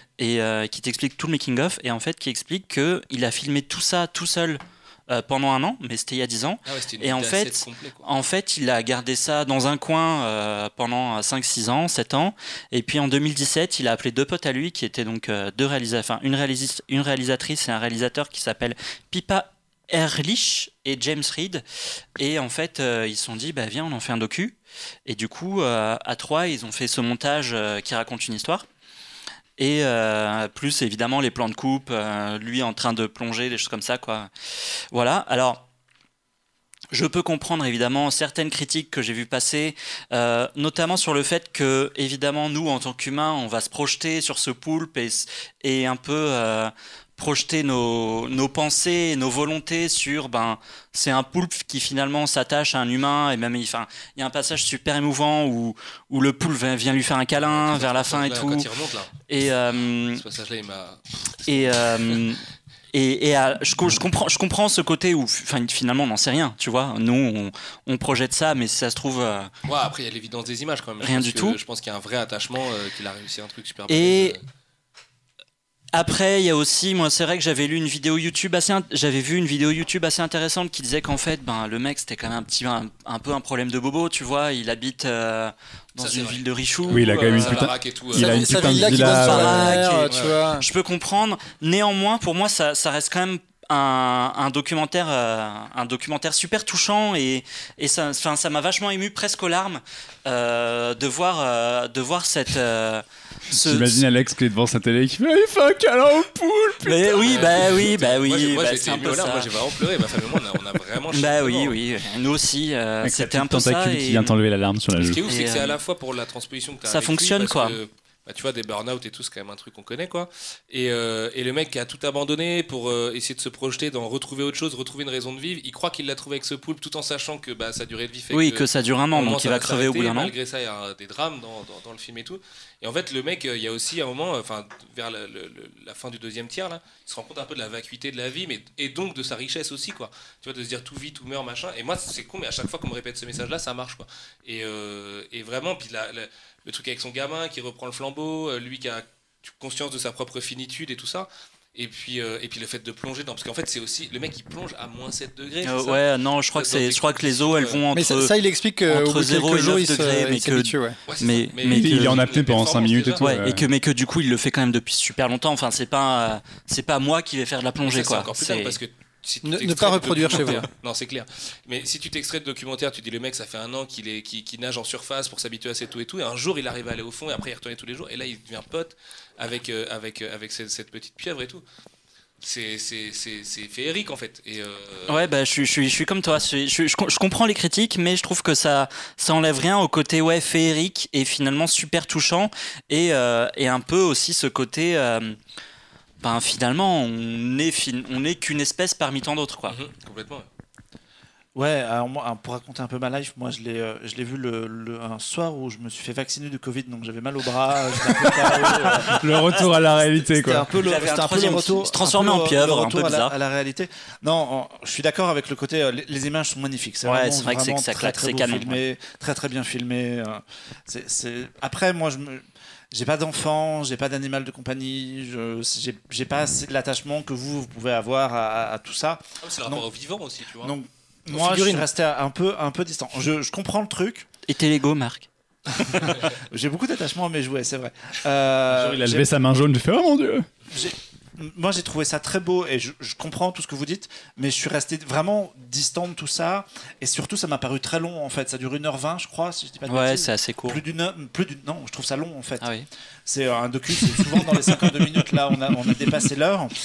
Et, euh, et, Après, et- docu Oscar et et tout, tu vois. quelque part, moi je me suis dit, bah je sais pas, peut-être que peut-être qu'une vidéo mignonne sur YouTube de 10 minutes, ça aurait fait, Oui. ça aurait fait le taf. Une vidéo La consommation n'est pas ça la même. fait le taf, une, vidéo zododo sur Instagram, ouais, ok. dur parce que quand même, via justement la lenteur qu'il impose euh, dans, sa, dans, sa, dans son montage et tout, c'est ce qui te permet en fait toi de réfléchir un petit peu à ce à quoi tu assistes et tout et à, à- à te faire ton bilan. En plus- tu sais que ça va mal finir très vite. Tu sens Il que te ça- le oui, dit, il te le dit dès le début, il te le dit, il te le dit, il te dit dès le début, euh, la durée de vie d'une pieuvre, c'est un an. Voilà, donc ça. tu sais que au Oui, puis- final, ça va être- et ça tu va sais que ça dure un an. Tu sais Oui, qu'il a c'est filmé timé, sur an. jour 30, Ouais, je- jour 60, machin. Je, je rejoins Marc euh, dans, la, dans, dans ma légère déception. Et toi, t'es sans cœur, Mathieu. Alors, j'ai un enfant, donc je suis euh, très sensible. Non, mais euh, je, je trouve ça évidemment magnifique et j'ai découvert les fonds marins en Afrique du Sud et je trouve qu'il y a vraiment des plans assez extraordinaires. Mais justement, c'est cette euh, capacité euh, du mec à nous faire de belles images qui, moi, me sort totalement de l'histoire en fait. Parce que je, je me dis, le mec plonge par hasard et, va, et se promène quand même avec son appareil photo pour faire des vidéos et tout. Bah, et au final, après, et au final il nous fait un truc un peu, un peu quand même vrai documentaire et j'ai du mal à. Du coup, je sors totalement de l'histoire du mec dépressif qui a plongé tous les jours euh, pour le principe. Après, si tu fais très attention, les, les- les images de lui avec la poulpe, ou le poulpe, pardon, sont pas si ouf que ça en fait. Les, les beaux plans, c'est- c'est c'est plus les rajouts. Juste- les- justement, les- voilà, les en fait, en fait, en fait, les images avec le poulpe, bazar. lui, il posait, Elles il posait son caméra, euh, il, il- il posait sa caméra euh, sur le sable, euh, par terre, quoi. Enfin, et sous euh, oui, Il enfin, l'eau, mais par rushs, en terre. fait. Il avait des dizaines et Et ouais, voilà, c'est ça. Il et- avait Et énormément de rush. Et en fait, euh, voilà, Il c'est ça. Il laissait tourner. le- le Il remontait une il- fois toutes les 5 il laissait minutes ou 10 tourner, ouais. minutes euh, pour respirer. Ça Et aussi, puis, la il laissait- physique quand même. Ouais, bah ça, c'est Tom, Tom Cruise, le gars. et Ouais. Sinon, il y a le grand bleu, les gars. hein, mais... Euh, J'ai pas vu. Ouais, Voilà. attends, Sans vu, poulpe. vu les eaux hostiles, et puis tu sais, il y a un moment Hmm. où il se dit c'est pas responsable de la suivre là parce que faut que je remonte vraiment, mais je ne peux pas ne pas savoir ce qui lui Ouais. arrive et tout. Et il doit remonter quand même, et du coup, tu sais pas trop, et après, il la retrouve dans sa C'est vrai qu'il y a un côté peut-être un petit peu trop scripté, mais Ouais, ouais, en même Ouais, temps. c'est le montage qui veut Oui, ça. c'est- mais en même temps, si c'était pas scripté, tu t'attacherais pas autant aux, aux deux personnages, parce que tu t'attaches au poulpe, même s'il a pas de nom, même si finalement. On l'appellera José le poulpe. pas. Super, euh, enfin c'est con, mais en protection animalière et tout ça, parce que ma- la femme qui, parta- qui partage ma vie est, est très engagée là-dedans. Ne pas nommer un animal, c'est un geste important quand même. Je trouvais Ouais. ça cool que dans un docu, ils disent pas euh, Ah tiens, c'est Poupi le poulpe, tu vois, ça aurait été un peu relou. Parce qu'en plus, nommer un animal, c'est-à-dire que tu transposes, tu vois, une Oui. relation de domination, etc., ou, ou au moins d'appartenance avec euh, la personne en face. Et il a le chic de pas le faire. Et de dire voilà, il est là. Ouais, après, il a quand même un rapport qui est assez ambigu sur la question parce qu'à la fois il est dans le délire de je veux absolument pas euh, intervertir avec la nature et quand typiquement quand le poulpe se fait chasser par le requin il dit bah c'est pas mon rôle de- de- de- d'interférer et en même temps sa morale de l'histoire c'est on n'est pas des touristes là-dedans on fait partie intégrante de ce système là oui. et il faut prendre part dans Et nos imagine, responsabilités parce qu'on est en train de détruire le truc mets à sa place quoi. Je me dis je vois le requin et tout. Évidemment que j'ai envie de lui mettre un gros coup de pied dans le. tu vois, genre, Ouais, mais lui il dans- le fait pas et c'est beau de pas le faire en fait. Ouais, c'est mieux. je pense faire. que ça devait être très dur. Mais quelque part, tu vois. Il a dû mourir à l'intérieur. Je pense que le mec il a développé un cancer dans les 5 minutes. tu vois, non en vrai. dit je vais le raconter sur Netflix Enfin, quand tu vois l'amour qu'il porte euh, à ce poulpe et tout, le mec Ouais. il devait être tellement dans le mal. Et après quand il revient et qu'il la retrouve pas pendant plusieurs jours et tout, mais Mm. imaginez, enfin dans sa tête, le mec il se dit bah elle est morte, c'est fini, ouais. ça y est, enfin c'est tout, c'est terminé. Et la joie de la retrouver et de voir que son que son tire-bras repousse et tout. Ça, je savais pas. Ça, je savais pas. pas que les C'est hyper impressionnant. Euh, Moi, moi, je, je- je reste quand même sur le fait que c'est assez artificiel dans, dans, dans le fond. C'est Bah, artificiel, en fait, ça- artificiel, dans le côté scripté et dans Alors, le côté c'est- quand même un de- trip sur le mec aussi quoi Aussi parce que les derniers documentaires à Oscar que j'avais vus, c'est l'histoire d'un mec qui monte une montagne de 200 mètres Ouais, tout seul à main sans corde. Mm. C'était l'histoire d'un mec qui se dopait exprès pour euh, voir ce que ça faisait. Enfin, il y avait des trucs un, peu plus spectaculaires. Le mec, le cycliste là. Oui, mais Incroyable ce documentaire. Qui aussi, je pense que c'est un, documentaire qui est arrivé dans un moment où ben on pouvait pas sortir de chez soi et on pouvait pas avoir de contact. Et finalement, c'est un c'est un film sur un mec qui va qui sort de chez lui tous les jours.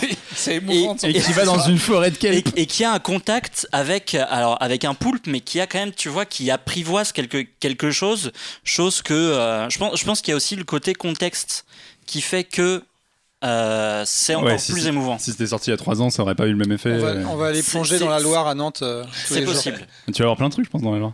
Non, mais après, moi, je trouve qu'il y a quand même. Le, le type, en fait, me paraît quand même très chelou parce que déjà, bon, on, on l'a pas dit, mais il a la voix la plus monotone de la planète et je trouve qu'en fait, il est assez chiant à écouter. Mais. En fait, sa, sa situation est assez étrange parce que le gars se présente comme un producteur qui a donc euh, suivi des gens en Afrique, qui a bossé euh, au plus près de tribus qui l'ont appris, appris à pister. Et il dit d'ailleurs au début, c'est, je me suis dit, je vais appliquer cette technique de pistage Ouais. dans l'eau. super intéressant euh, 20 ans après, bref. Et euh, mais donc le gars, a priori, a quand même un certain. De... C'est un Hein petit peu romancé, et évidemment qu'il y a un petit peu de tout ça, mais c'est comme- c'est c'est intelligent euh, le, faire- le fait de faire ce lien-là. quoi. Non, bien sûr, mais t'as as quand même ce côté, le mec a un bagou, je pense qu'il a une carrière de fou furieux dans le domaine et il a vu plein de trucs et, et euh, bon, il est hyper sensibilisé à ces questions-là. Et la moralité de son documentaire, au bout du- c'est de dire, ouais, au bout d'un an, je me suis rendu compte que la nature c'était quand même vachement important. Et t'es là, mais mec, t'as passé un an à nager avec un poulpe, évidemment que tu le pensais. En fait, je trouve qu'il y a un côté Parce un peu, un américain. mec, peu- Quand t'es en burn, plus rien ne compte, tu vois. Le, le- le vivant, le mort, tout ça, c'est pareil et tout. C'est moi, c'est ça que je ressens en fait avec lui, c'est que le mec, il est parti de sa situation vraiment euh, encéphalogramme plat, euh, tu vois, euh, de, de ses émotions. ouais il avait presque plus envie de vivre en fait il ça, était il vraiment redécouvre les émotions parce qu'il arrive pas en plus avec sa femme, son Ouais. gamin, son boulot et tout. Il redécouvre les émotions qui lui font dire non par contre mec le deuil ça fait partie intégrante de la vie, la finitude Mm. c'est comme ça c'est tout. Et donc à la fin il replonge et on voit bien que quand le documentaire se finit le mec il est pas bien non plus. Hein. Ah non, il est pas il, bien pour d'autres raisons, mais il il est a, il a un bien, truc, quoi. le gars, ouais. Et le seul truc qui le sauve c'est de dire bah mon fils a la même passion que moi donc je me raccroche vachement à ça parce que je me rends compte de l'importance d'avoir quelqu'un qui peut vivre longtemps à mes côtés et tout. Et, euh, ça c'est super émouvant je trouve que la bah, fin c'est où émouvant, et lui puis, euh, avec son fils je la trouve super intéressante On ne peut plus vrai quoi. Enfin, tu vois, mais Mm. moi particulièrement en période de Covid, ce côté euh, on peut tous crever euh, demain et machin et tu vois euh, profitons un peu de la vie et tout, c'est quand même un truc qu'on s'est un peu tous dit. Et euh, il y a de ça chez lui tout en restant bah sais le retour à la chaîne alimentaire quoi. Genre il y a des Mm. trucs qui vivent, il y a des trucs qui meurent, il y a des trucs qui mangent d'autres trucs et il y a des trucs qui vivent 24 heures, d'autres un an, d'autres 70, d'autres Ouais, 100, mais après, moi, je t'avoue, l'aspect. euh, je trouve qu'au début, j'avais un peu de mal à percevoir en fait le degré de dépression du mec et la gravité de la situation Ouais, pour lui. oui Et je trouve qu'en fait, sur l'aspect purement scientifique, parce que tu vois, tu te dis quand même, putain, Oscar du meilleur documentaire sur la pieuvre, machin, on va apprendre des trucs. Bon, bon j'ai rien appris, euh, et pourtant, je suis pas du tout spécialiste en, en pieuvre ou quoi. Mais je trouve que c'est un peu neuneux en fait. Tu vois, alors après, euh, j'ai pas cette attache émotionnelle que vous avez à cette histoire, etc. Mais je me dis finalement, euh, on sait tous que euh, à partir du moment où tu partages un certain temps dans la nature avec euh, des espèces euh, sauvages, bah tu finis par euh, avoir un contact avec elles. Oui, Et moi je pense je tu pense pourrais mettre un chat, tu pourrais mettre n'importe quoi. En fait, oui, ça même pourrait un être n'importe lion, tu peux, enfin, on l'a déjà vu avec des lions, hein, mais Ouais. un gorille, ça peut finir par devenir ton pote. Tu vois, je suis un beaucoup plus sensible aux vidéos de mecs qui font des câlins en lion dans la savane que à ce mec qui fait. mais c'est parce que c'est plus impressionnant mais la finalité elle est la même Ouais, mais je, sais pas parce qu'il y, a- il y a quand même ce truc à la fin où t'as l'impression que scientifiquement c'est du génie et c'est du jamais vu et tu l'as bon. Plus Non, impressionnant, je sais pas parce que il y a quand même l'intuition que la pieuvre, euh, bah tu sais, c'est Lovecraft et tout, mais il y a un peu l'intuition que la pieuvre c'est l'animal suprême. Tu Oui, on sait que c'est super intelligent comme animal, c'est est hyper sensible, intelligent, Qui a machin. plein de sens qu'on n'a pas, Ouais. tu vois, tout ce truc-là. Et la pieuvre, elle a ce côté-là, en fait. Et le seul truc vraiment très concret qu'on apprend dans le documentaire, c'est en fait, on ne sait rien sur les pieuvres. Oui. Au début, ils disent en fait, les scientifiques ne savent pas grand-chose sur les pieuvres, on n'arrive pas trop à les, à, à les observer. Mais c'est peut-être une appréhension que j'ai eue en me disant je vais apprendre plein de trucs sur cet animal et t'apprends pas non, grand chose. mais je, je- je pense pas que ce soit le but du documentaire non plus. C'est pas un documentaire animalier, c'est un documentaire sur la Oui, mais relation vois, entre un homme et, Sur la animal. dépression. T'arrives, c'est sur la Oui, pieuvre, sur- ça a eu un Oscar, tu te dis wow, ça il y avait un peu de bagage quoi. Et bon, c'est pas, c'est pas le sujet en fait. Non. Regarde Mais le c'est un truc peu décevant de ce point de dope. vue-là. Ah, le truc sur le mec qui se dope, c'est. euh, comment il s'appelle ce docu déjà T'as le nom? C'est pas Icarus Icarus. Oui, Icarus. Ah, incroyable ce docu. Et vous avez vu le- l'autre docu animalier produit par Joaquin Phoenix qui est sorti à peu près en même temps que La sagesse de la pieuvre J'arrive pas à le trouver donc euh, je l'ai pas vu, mais euh, il paraît que c'est incroyable. Mais je crois que c'est plus sur. euh, C'est plus sur le côté animal, et- je pense, à mon avis. Et, euh. et la protection animale, mais dans le Mhm. sens. euh, Enfin, comme lui, il est très très Ouais. engagé. Il est. euh, il- Oui, il a fond. En- euh, en mais tout- en tout en cas, tout cas, la sagesse de la pieuvre, moi je trouve que c'est super et c'est hyper, enfin c'est c'est hyper touchant et hyper émouvant et, et matez-le quoi. Même si au moins faites-vous votre idée si jamais. euh, Ah, attention, je vais, faire, content. je vais faire la meilleure transition Oh putain. de 5 ans d'émission. On, on fait quand même notre 60e émission, donc euh, bravo. On va retenir notre souffle entre la plongée avec les pieuvres et oxygène. est Oh putain. Oh Il y a un truc, il y a un petit Voilà. truc.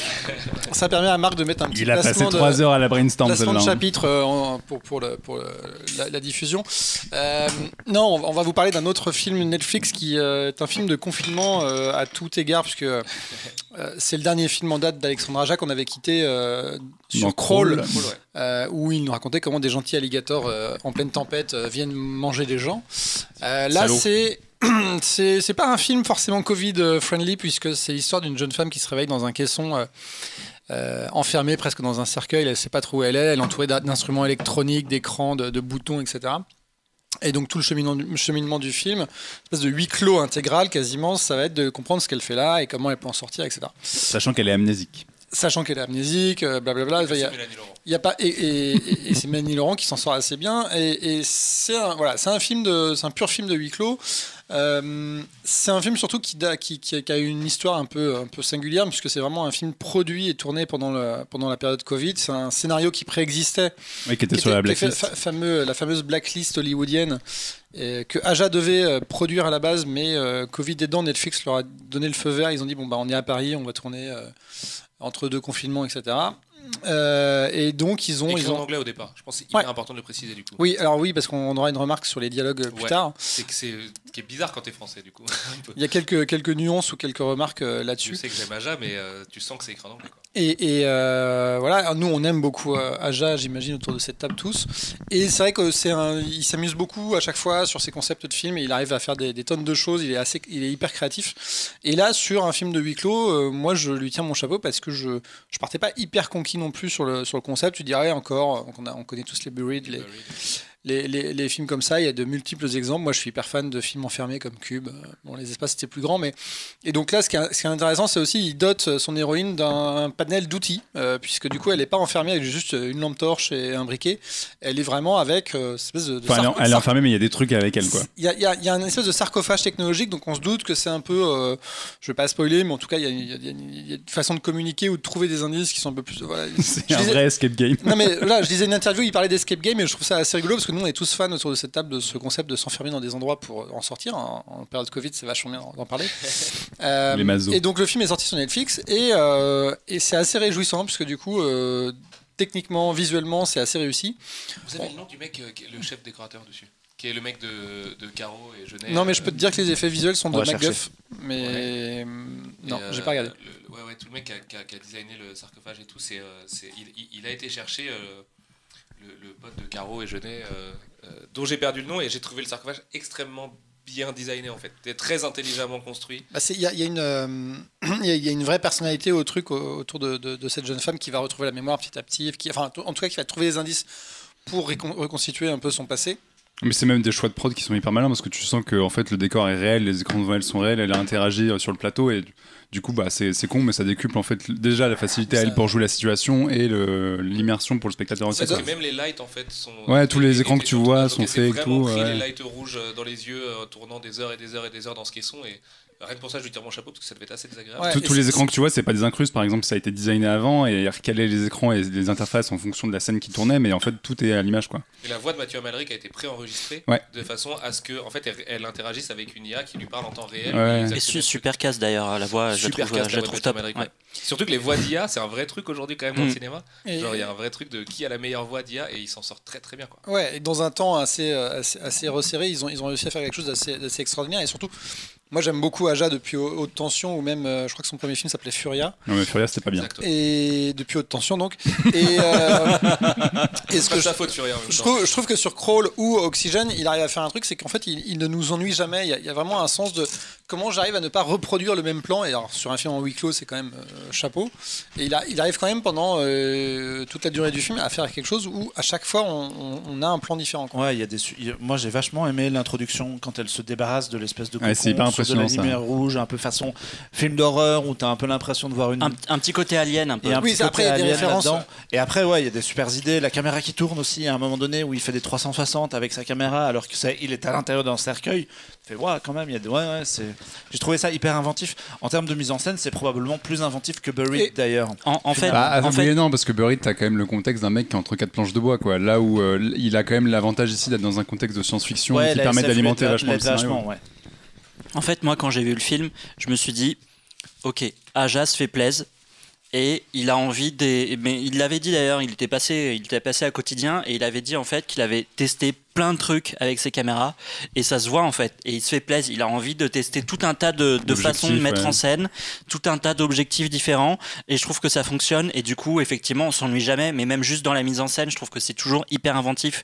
Et il y a jamais un plan qui ressemble à un autre quoi. Oui, puis c'est malin, c'est pas juste faire du plan différent pour le principe de varier visuellement, c'est Ouais. aussi être accord avec la dramaturgie et ce qui se passe dans l'instant. Et finalement, tu vois que c'est quand même quelqu'un qui pense en termes d'image, et notamment quand il fait le fameux 360 dans le, dans, dans le Dans le sarcophage, sarcophage.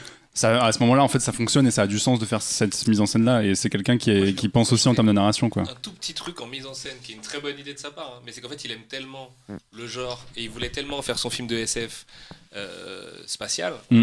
Je sais pas si on peut spoiler à quel Oh, point on peut spoiler. Euh, mais Attention, c'est la, minute spoiler. au bout, de, au bout de 10 minutes, il y a un plan où la caméra sort du sarcophage par une espèce de grille Ouais. d'aération, mais en fait c'est un plan d'alien quoi, tu vois. Et, Mm. euh, Oui. et donc tu fais ah ok bah ok ok donc on est dans ce contexte-là. Donc Alors, en fait, euh, moi c'est moi, C'est pas moi, sur moi, ce truc-là. moi, c'est ce que mais- j'allais Je suis dire ultra bon, fan d'Alien, on- j'ai pas va- non plus. on- euh, on va spoiler L'école Alien, tu sais, de l'école du vaisseau Mm. spatial ricain, de SF ricaine, tu vois, avec euh, Ouais. justement la caméra qui va se balader dans Mais les Alien, grilles c'est presque un d'aération huis clos aussi, quelque part. on, on va spoiler. Donc, si vous n'avez pas encore vu Oxygène, gros spoiler. Moi, les deux twists, je les ai vus venir à 1000 km. C'est un, peu le- c'est un peu le seul truc Ouais, que. le, moi, le tweet sur elle, je l'avais capté le, direct. tru- le, tru- Oui, le- elle, oui, le mais twist sur elle, contexte. je me souviens, je l'ai dit à Julie, je lui ai dit. Je lui, Le bah, le fait qu'elle soit un clone. Le fait qu'elle soit un clone. et c'est un clone. Le fait qu'elle le fait qu'elle soit un clone, j'ai dit à Julie, je lui ai dit dès le début du film, je lui ai dit tu vas voir c'est un clone. Bah, moi, je voilà, matez pas les films avec Alex. Après, quand tu te repenses aux trucs de souris et d'expérience et tout, et tous les plans en insert et tout là, tu dis, mais évidemment que c'était un clone. Et autant l'espace, je l'ai capté très très vite, autant le clone, en fait, je Mais en fait- Moi, c'est le coup de fil quand, quand elle décroche.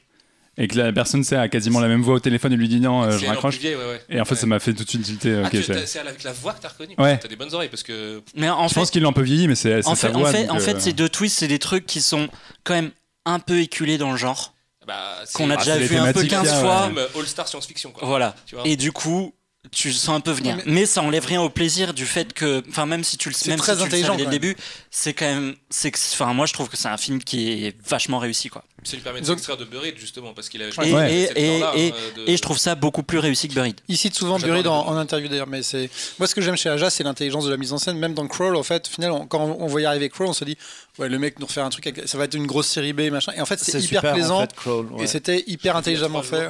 Ouais, c'est marrant. Je pense que c'est son meilleur film, en vrai.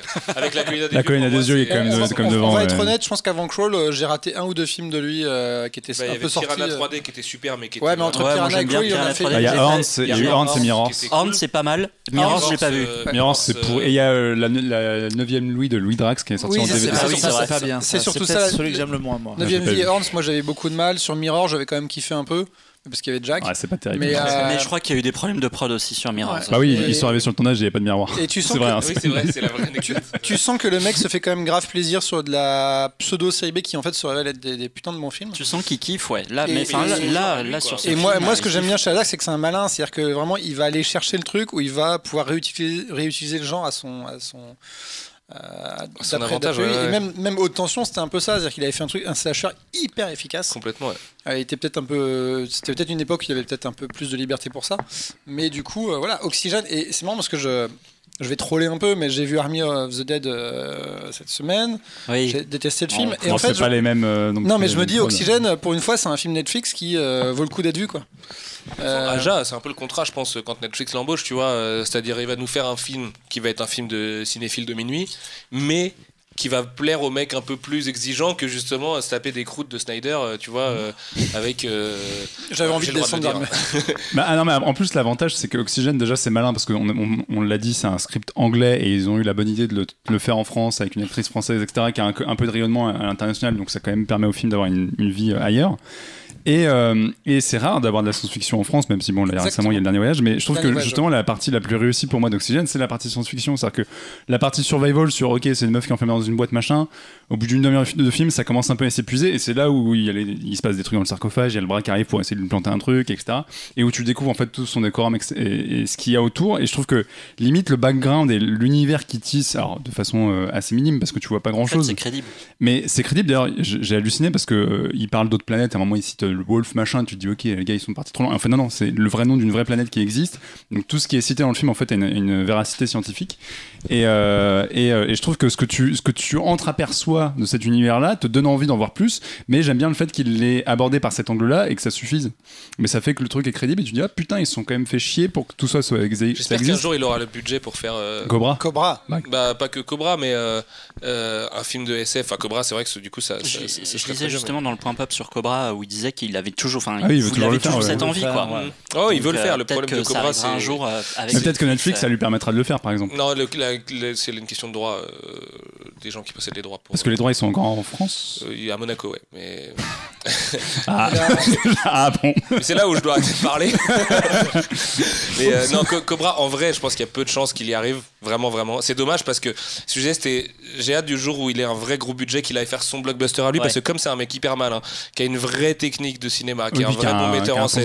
tout. ouais. qui a une façon de travailler qui est aussi hyper intéressante, qui storyboard beaucoup et qui machin. Enfin, tu vois, qui bosse encore un peu à l'ancienne et qui a encore ses méthodes et tu vois euh, ses ambiances de tournage, etc. Et tout. Enfin, c'est un mec qui tient vachement à ça. C'est pas le fils de n'importe qui non plus, donc forcément, Je pense que voilà, il, a une culture du cinéma classique qui, qui l'aide beaucoup aujourd'hui pour faire ce qui serait de la série B ou du film de minuit. Et, euh, et j'espère qu'un jour il tentera l'aventure d'aller se taper un vrai gros blockbuster. Mais je, je pense euh, que ça, c'est un exigeant gain en termes de hein. SF et tout, tu vois. Mais Typiquement, euh, je, je pense que pour Netflix, je sais pas combien Oxygène a coûté, mais c'est aussi une façon de tester le mec, de voir comment ça fonctionne avec lui. ah bah oui, il a. Ça, il- sachant ouais. qu'il Et à, mon avis, euh, si, je pense que Cobra, euh, techniquement, alors, sauf s'il veut absolument être euh, rattaché à la licence, mais il pourrait très bien faire un truc dans le genre avec une autre licence de BD, etc. chez ce Netflix. serait assez euh, génial. Ça, ce serait c'est peut-être ça la solution. Mais laissez-le adapter une autre BD avant quand même les gars. parce que il doit, son prochain Mais- film c'est Tomier donc euh, voilà, Mais on, on y euh, tire. il y, a- il y a un truc aussi, euh, pour, pour la première fois, je trouve Mélanie Laurent excellente. Alors qu'en général, elle Pas, m'insupporte. pas la première fois, mais souvent, oui. dur, je- ça, quand elle est bien C'est une fois sur cinq, quoi. Enfin, moi, j'aime beaucoup moi, la moi, je la réalisatrice, trouve quand même mais- assez pénible euh, en, tant qu'actrice. Enfin, en- quand dans son jeu, je la Ah, trouve dans mes rêves, pénible. je tue Hitler, tout ça. Et euh, mais là, je- là vraiment, elle m'a, enfin, elle m'a ému. Je l'ai trouvée vraiment excellente. Sachant que c'est un rôle très physique, puisque du coup, elle a tourné plusieurs semaines enfermée, Ouais. etc. Et, que Et puis pas qu'il y a que, y a que elle à l'écran, quoi. Ouais. Et, Ah, moi euh, je suis ce mec bizarre qui aime bien Mélanie Laurent avant et, et la réalisatrice et tout et en plus je la trouve sympathique. J'avais bien aimé Galveston et tout je trouvais ça intéressant. En plus j'adore euh, le bouquin de Pizzolato et tout. Et euh, le vrai problème que j'ai eu là là c'est que comme le film a été écrit en anglais et qu'en fait on le sait partir de l'anglais vers le français c'est très compliqué même quand t'es français Et lui, lui en a parlé, hein, il disait que c'était le gros défi à l'écriture et même au montage. mais ça s'entend trucs, euh, ça s'entend il y a des trucs d'oralité qui fonctionnent certaines pas ironies, hyper certaines bien tournures de phrases, tu dis. ouais c'était Ça, c'est plutôt anglophone transposé, exactement, c'est transposé de l'anglais. Et notamment le flic au téléphone, en fait, il répond comme un flic dans un script en anglais. Et ça s'entend. Et du coup, ça, enfin, vraiment, moi, ça, ça- Alors, Oui, mais ça m'a pas choqué. Et je pense parce que je suis habitué aussi à voir des trucs en anglais, donc du coup, ça m'a pas choqué. Ouais, le moi, ça m'a choqué, français, mais sur elle, son interprétation, il y a des expressions, C'est c'est effectivement, vrai des que du fois. coup, je me suis posé beaucoup de questions en me disant Ah, quand même là, il y a une espèce de fausse ironie, c'est bizarre et tout ça. Mais je trouve qu'il y a des Et moments où après, ça j'ai lu marche un papier pas. qui mais, disait que euh, c'était les- les- la traduction, parce que du coup, euh, effectivement, c'était anglais à la base, ouais.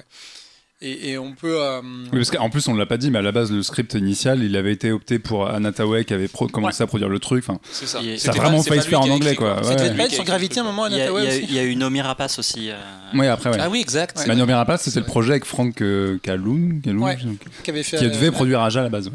Et, et pour, euh, pour conclure sur, euh, sur Oxygène, qui est donc une belle recommandation de l'équipe, c'est aussi un script qui a été un peu réécrit pendant le, enfin, les six premiers mois de Covid, et donc du coup, il y a une, une- un vrai propos aussi sur. Mm. Enfin, il y a un truc de science-fiction sur euh, la pandémie, tout ça, et voilà, c'est un peu en fond, mais hum, notamment avec Malek Zidi qui joue le, le- le copain de Mélanie Mais c'est même pas six mois, c'est moins que ça, parce que c'est un film qui a quand même été produit euh, en Oui. un an. hein. Non, mais donc à la, rapidement, à la hein. dernière mouture du scénario, ils ont bien appuyé Ouais, ouais. sur le côté euh, pandémie et comme quoi le sort de l'humanité, etc. Donc on est sur un vrai film de SF qui, euh, qui marche très très bien. Et pour le coup, sur Netflix, c'est pas, c'est pas souvent qu'on a des, des longs métrages euh, qui sont de A à Z euh, assez bien tenus. Quoi. Bah, surtout en France, quoi. Mais... euh, Je me permets du coup de dire, Alexandre Aja a fait la préface de Tomier qui sort le 7 juillet et la préface est superbe. Ça sort chez Mangetsu. Et euh, il a été adorable et tout et c'est vraiment un mec super chouette et, euh, et c'est un mec adorable. Vraiment. Bah, et la on l'accueille, première quand il personne veut. que j'ai interviewé en 20 ans de site web. C'est vrai? C'est beau, beau. à l'époque. Et c'était un super souvenir, je- j'y repense. En- j'ai encore la Betamax à Je la me- je maison. me demande- je me- euh, Je me avec- demande si c'est pas la première personne que j'ai interviewée aussi pour pour pour Piranha 3D. Piranha 3D. Ouais, on a eu l'occasion de le croiser quelques fois et c'est vraiment mais c'est un, quelqu'un c'est un super mec, quoi. il est adorable. génial, ouais. Moi, il a répondu. euh, on, a, on a un ami en commun et il a répondu tout de suite favorablement. Et il a même pas demandé. Enfin, attention, on paye pas les préfaciers euh, chez- sur, sur Ito parce que j'estime que c'est pas un truc euh, qui doit être payé, mais. Pas que ça doit être du bon vouloir et tout. Après, si, Stephen King me dit euh, il me faut 500 balles, je te filerai 500 balles, Stephen. Entends-moi bien. Mais, euh, mais, euh, mais non, c'est vraiment un mec adorable et je tiens à le dire parce que, parce que voilà, on a, on a pu du coup échanger beaucoup et on échange un petit peu. Mais là, il, il est reparti vivre du coup là-bas. Il est plus à Paris depuis la sortie de Los Angeles, de, de, de Oxygène. Il est reparti vivre à, à LA. Et euh, vraiment, il prend le temps, il donne des avis, il est, il est dispo, il est sympa, il est, enfin voilà, franchement, euh, On l'accueille quand il veut. mec en or. Quand il, Et- quand et- il veut, ouais. Et on va passer euh, d'un univers de science-fiction à presque un univers de science-fiction. C'est peut-être ma transition la, la moins, la moins bonne. il est pas Euh, sûr, il est pas serein euh, sur celle-là. Sullivan, tu es venu avec une biographie qui s'appelle Remember Baudrillard. Il y a un petit lien avec Matrix, nous a tout dit.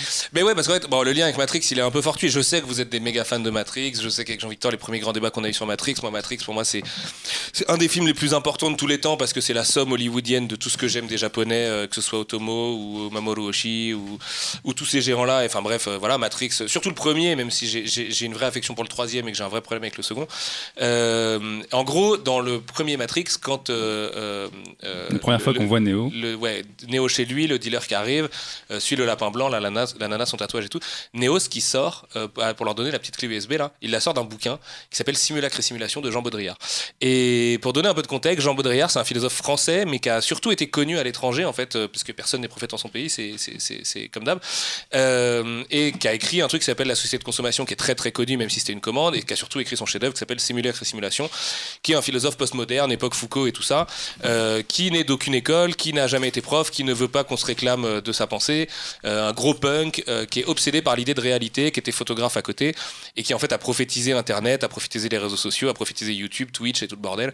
Un espèce de, de génie absolu, mais philosophe postmoderne, donc un petit peu aride quand même à aborder. Tu vois, moi j'ai lu Simulacre.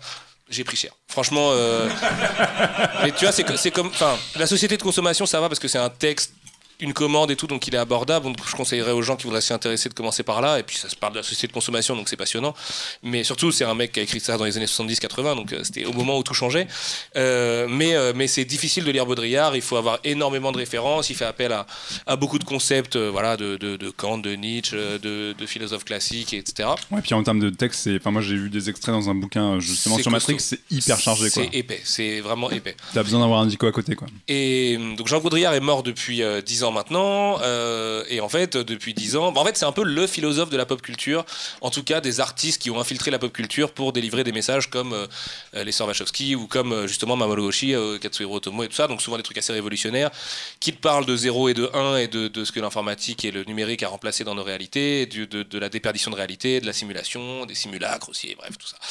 Et en gros, Serge Latouche, c'est un prof de philo à la Sorbonne, si je dis pas de conneries. Euh, il a fréquenté Baudrillard dans les 70 beaucoup. Il faut savoir que Baudrillard, c'était un mec qui était pas forcément hyper sympathique ou hyper avenant, donc euh, euh, il faisait Pas, pas, étonnant des- vu ce qu'il a écrit. il faisait pas des lectures, mais c'était pas non plus du tout un misanthrope. Hein. C'était plutôt, tu regardes des interviews, tout c'est plutôt un bon vivant, mais c'est un mec qui était d'un tel niveau intellectuel parce que vraiment Ouais. c'est assez flippant. À un moment, on lui demande, vous aimez la musique? Il dit oui, mais j'ai jamais cherché à l'intellectualiser parce que je voulais l'aimer encore toute ma vie. Quoi. Et, euh, et rien que ça, je trouve ça dit tout de, de, de ce type-là qui a vraiment été très très loin dans sa pensée. Et euh, Serge Latouche, qui l'a rencontré, en fait, s'est pris de nostalgie pour Baudrillard euh, après sa mort, en se disant putain, on a peut-être eu un des plus grands philosophes français, si ce n'est le plus grand philosophe français avec ce mec-là, qui littéralement a parlé de notre vie d'aujourd'hui il y a 30 ans, nous a donné des clés et tout ça, mais en fait nous dit aussi les gars, on a pris une route qui fait qu'il n'y a plus de marche arrière et que bah, il va falloir vivre avec et que chose que je partage à peu près comme avis.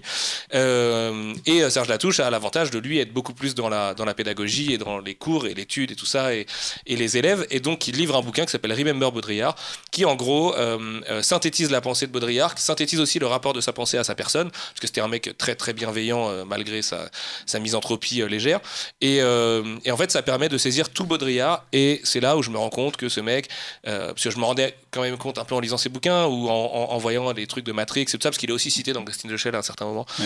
Euh, mais euh, je me rendais pas compte à quel point c'était le philosophe de la pop culture en fait. Et vraiment, euh, tu vois, je pense qu'un mec comme euh, comment il s'appelle George Miller euh, a lu Baudrillard, connaît Baudrillard et s'inspire vachement de Baudrillard. Et, beaucoup de grands scénaristes, je pense qu'un mec comme Vince Gilligan aussi s'intéresse vachement à Baudrillard et tout. Et comme c'est un gars qui a été très connu aux US parce qu'en plus comme il était, il a une vraie grosse carrière de photographe, il était fan de Las Vegas, qui était pour lui le, grand démon et en même temps le truc le plus fascinant de la terre quoi. Je pense qu'en Californie et tout, puis je le sais, il est, il il est pas mal étudié et tout. Et c'est pas mal de rendre à Baudrillard euh, ce qui est à Baudrillard. Donc qu'en France, on puisse, euh, qu'en France, on puisse comprendre un peu sa pensée et puis se rappeler qui était ce personnage. Euh, L'avantage, c'est comme il était vivant jusqu'à il y a peu de temps, il y a des interviews sur YouTube. Et donc je conseillerais à n'importe qui de commencer par les interviews sur YouTube. Tu l'écoutes comme un professeur, comme un mec en interview. Il a un peu ce côté, les interviews, il fume ses clopes à l'ancienne et tout, donc qui est très agréable, qui te met à l'aise tout de suite. Et euh, giga monsieur, quoi. Et donc maintenant, je comprends les Wachowski aussi, tu sais. euh, euh, je me dis, Et ah, en plus, ok. c'est marrant parce que les Wachowski avaient un peu atténué les citations de Baudrillard dans le film. Il devait y en avoir plus. Il devait, je crois qu'il devait être cité Oui, littéralement il par devait citer Morpheus. le livre, ouais, absolument. Et le- l'expression du désert du réel que sort à un moment Morpheus à Neo, ça vient littéralement Ça euh, vient textuellement de, ouais, Baudrillard. de Baudrillard, tout à fait. Est-ce que ça permet de deviner le scénario de Matrix 4 Mais pas du tout. euh, La grande pas du tout. Non. Très bien, c'est conseil lecture euh, du mois. On est à... C'est chez Fayard, parce que je suis un éditeur, donc je peux parler d'autres éditeurs. Putain, ça coûte 22 balles par contre. hein. Attendez le poche, quoi. c'est un Mais donc, toi, du coup, pas tu- un manga. Tu Attends, conseillerais de, pour aborder Baudrillard, imaginons quelqu'un demain, demain voit Matrix, YouTube. capte le truc. Moi, par exemple, moi, j'ai jamais eu Baudrillard, donc Ouais. je peux, je peux, euh, je Ah ouais, peux, je ouais, peux, ouais. euh, Si, si t'as vu Matrix. ça m'intéresse. J'ai Ouais, vu. Matrix, Ouais. j'adore Matrix. Dans ce cas-là, euh, ouais. Mais c'est avec Jean Victor, tu vois, je peux lire. Bah, non, c'est le, meilleur bouquin. C'est le meilleur bouquin si t'es dans ce cas-là. Mais, donc toi, tu dis que c'est plus facile de l'aborder via ce bouquin-là que via un de ces bouquins. Ouais, ah, complètement. Ouais, ouais. Après, vous pouvez aller sur euh, Simulacre et Simulation ou La Société de Consommation, qui sont ces deux grands classiques. Après, il a écrit plein de trucs. C'est la porte d'entrée euh, parfaite, quoi. C'est la méga porte d'entrée. Enfin, je sais que moi, j'avais lu ces bouquins et ça m'a fait redécouvrir le mec. En fait, j'ai comp- j'ai compris ce que j'avais pas compris à la Ouais. première lecture. Parce que tu vas pas te retaper Simulacre et Simulation une deuxième fois. Je pense que personne n'est assez maso pour faire ça, tu vois. Donc, euh, mais tu sais, c'est un peu Simulacre et Simulation, c'est niveau euh, Léviathan de Hobbes, tu vois. C'est le genre de bouquin, c'est plus pour les études que pour euh, la vie réelle. Et en fait, enfin, c'est marrant d'ailleurs ça, mais, mais en fait, c'est tellement précieux que que- qu'il faut. Et, euh, euh, mais le conseil, En fait, surtout si les le gens mec qui a écrit curieux- ça, c'est le mec qui a compris simulacre et simulation pour toi et qui te le traduit. bah ouais, parce que c'est un mec qui l'a connu, qui est prof et qui est lui-même euh, hyper balèze et tout, mais qui a un vrai désir de, de, de partage au plus grand oui, de nombre. tout pédagogie. Et et d'être tu vois. Fayard, c'est pas une maison qui fait de la philo hyper. euh, c'est toujours de la philo euh, qui va être vulgarisée, parce que c'est littéralement ça, mais, sans- mais t'as quand même une somme de connaissances là-dedans qui est démentielle, quoi. Et, euh, mais si, le vrai conseil, si les gens sont juste curieux, YouTube, parce que le personnage est génial en plus. Donc euh, l'entendre parler avec sa voix, avec son machin et tout, c'est. euh, Et puis un moment, il pose la question, tu vois, genre, vous avez inspiré la pop culture et tout, il dit, il dit, j'en ai rien à branler, tout ça, c'est pas le réel, justement, donc euh, au final, c'est pourquoi C'est pour vendre des pluches et tout, je m'en fous, quoi. Et, mais c'est. Enfin bref. Merci Georges Lucas. Un vrai, un c'est un vrai punk, mais à la française, donc un peu, mais le, le parallèle est évident, mais il me fait forcément penser à Damasio, même si je sais que Damasio en ce moment n'est pas forcément en grâce aux yeux de beaucoup, mais euh, pour avoir la chance de le connaître, euh, il est un peu dans son sillage, quoi. Tu vois, à proposer une nouvelle pensée qui pense le monde d'après, quoi. Ouais, et puis si on peut résumer, en, évidemment c'est un peu un sacrilège, mais résumer en une phrase le concept maître chez euh, Baudrillard pour les gens qui nous écoutent, c'est donc le, concept du désert du réel et de la simulation et du simulacre, c'est qu'en gros tous les outils qu'on a créés pour circuler et vivre dans notre monde, en fait on pris le pas concrètement sur le réel. Typiquement le- l'exemple le plus con, c'est pour te déplacer, tu sors Google Maps et en fait pour toi la vraie vie c'est ce qu'il y a sur Google Maps, alors qu'en fait non, tu te déplaces dans un truc qui a rien à voir. Et tu fais le meilleur lien à Damasio, parce que Damasio, il fait un truc là-dedans, mais alors ça lui vient peut-être de Deleuze comme beaucoup de choses, mais euh, où il parle, en fait, euh, le GPS, il te donne énormément de pouvoir, mais tu perds de la puissance, en fait. Et le Mm. problème, c'est que dans ta vie, tu as besoin de puissance et dépendant, pas de pouvoir. Parce que euh, quand tu dois te repérer toi-même, et ben la deuxième fois, tu vas te repérer super bien, et même en fait, si tu fais ça tous les jours, dans la vie, tu vas te repérer super bien. Et moi, quand je suis venu ici tout à l'heure, bah, comme un con, j'avais le nez sur mon GPS euh, à chaque coin de rue pour vérifier que je prenais le bon virage et tout. Et c'est vrai que ça, hum, on a perdu quelque chose du réel là-dedans, en fait. On a Ouais. perdu, euh, on a perdu, je sais pas, euh, la couleur du bâtiment. Avant, tu disais, tu tournes à gauche au rond-point sur la maison rouge et machin. Tu suis la maison un, en briques un et tout. ancrage au réel. Et après, ça se, ça se, ça se dissimule en creux dans tout, en fait. Et, euh, et moi, je suis pas du tout un anti-technologie ou un décroissant ou quoi. J'ai mon iPhone comme tout le monde. Oui, parce que c'est ça, c'est comment la- le, le savoir qui a été mis dans l'invention de la technologie, en fait, substitue ton savoir à toi. Typiquement, Exactement. tu as un exemple qui a été génial dans, un, dans le spectacle que Alexandre Astier avait fait pour euh, l'exoconférence, Mhm. où il expliquait que à l'époque de la Grèce antique, les mecs, pour lire l'heure, ils avaient besoin de connaître les astres euh, par rapport à leur compas, etc. Et donc, en fait, pour juste lire l'heure, ce qui paraît tout con aujourd'hui, il fallait un champ de connaissances absolument monstrueux. Là, aujourd'hui, il faut juste regarder ta montre. C'est ça. et euh, et c'est voilà, ce substitut-là et cette transition-là qui se fait, quoi. En perdant l'apprentissage au passage. et tout. Eh ben, réagissez sur les réseaux sociaux euh, pour le coup pour savoir si on est encore dans le réel ou pas.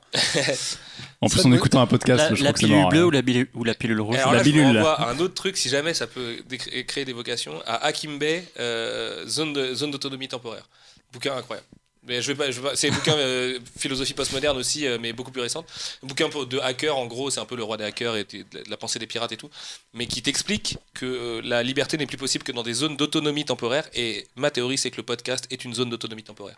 Tu vois, on Donc, crée notre, Happy Hour est une zone libre, Ah, sachez-le. C'est beau. notre tasse euh, ici, quoi. Je, je, je sais, je sais pas trop où Je vais on changer sera. la bio Twitter, je crois. Je sais pas où on sera le mois prochain, mais euh, de, de. Euh, pas- mais pas de tasse du coup. Parce que... on va essayer d'y réfléchir un peu. Euh, je crois que c'est les, les bières aussi, ça permet euh, pas trop de réfléchir trop, trop longtemps. Euh, mais Ça ouvre les chakras? ce sera ma seule transition parce que je n'en je n'en avais pas. Mais du coup, Ça qui est-ce qui, boit des bières? C'est l'héroïne de Mayor of Easton. C'est vrai. Euh, c'est vrai que ça consomme vachement de bière. hein, Puisque euh, la, la dernière série en date de HBO et OCS euh, est en cours de diffusion d'ailleurs, et on va en parler alors que le dernier épisode, euh, à l'heure où on enregistre, est, est diffusé demain. Y, euh, c'est une série en 7 épisodes diffusée sur HBO et OCS en, en- quasiment en temps réel. Et effectivement, euh, il me reste un épisode. Et euh, même si on a à peu près la résolution de l'histoire, j'ai quand même vraiment très très envie de le Il y découvrir. a encore beaucoup de questions. C'est une série policière avec Kate Winslet dans le rôle principal. C'est la première fois que Kate Winslet joue dans une série. C'est une série qui a été écrite par un monsieur qui s'appelle Brad Inglesby, qui est bien connu notamment pour avoir écrit Les Brasiers de la colère.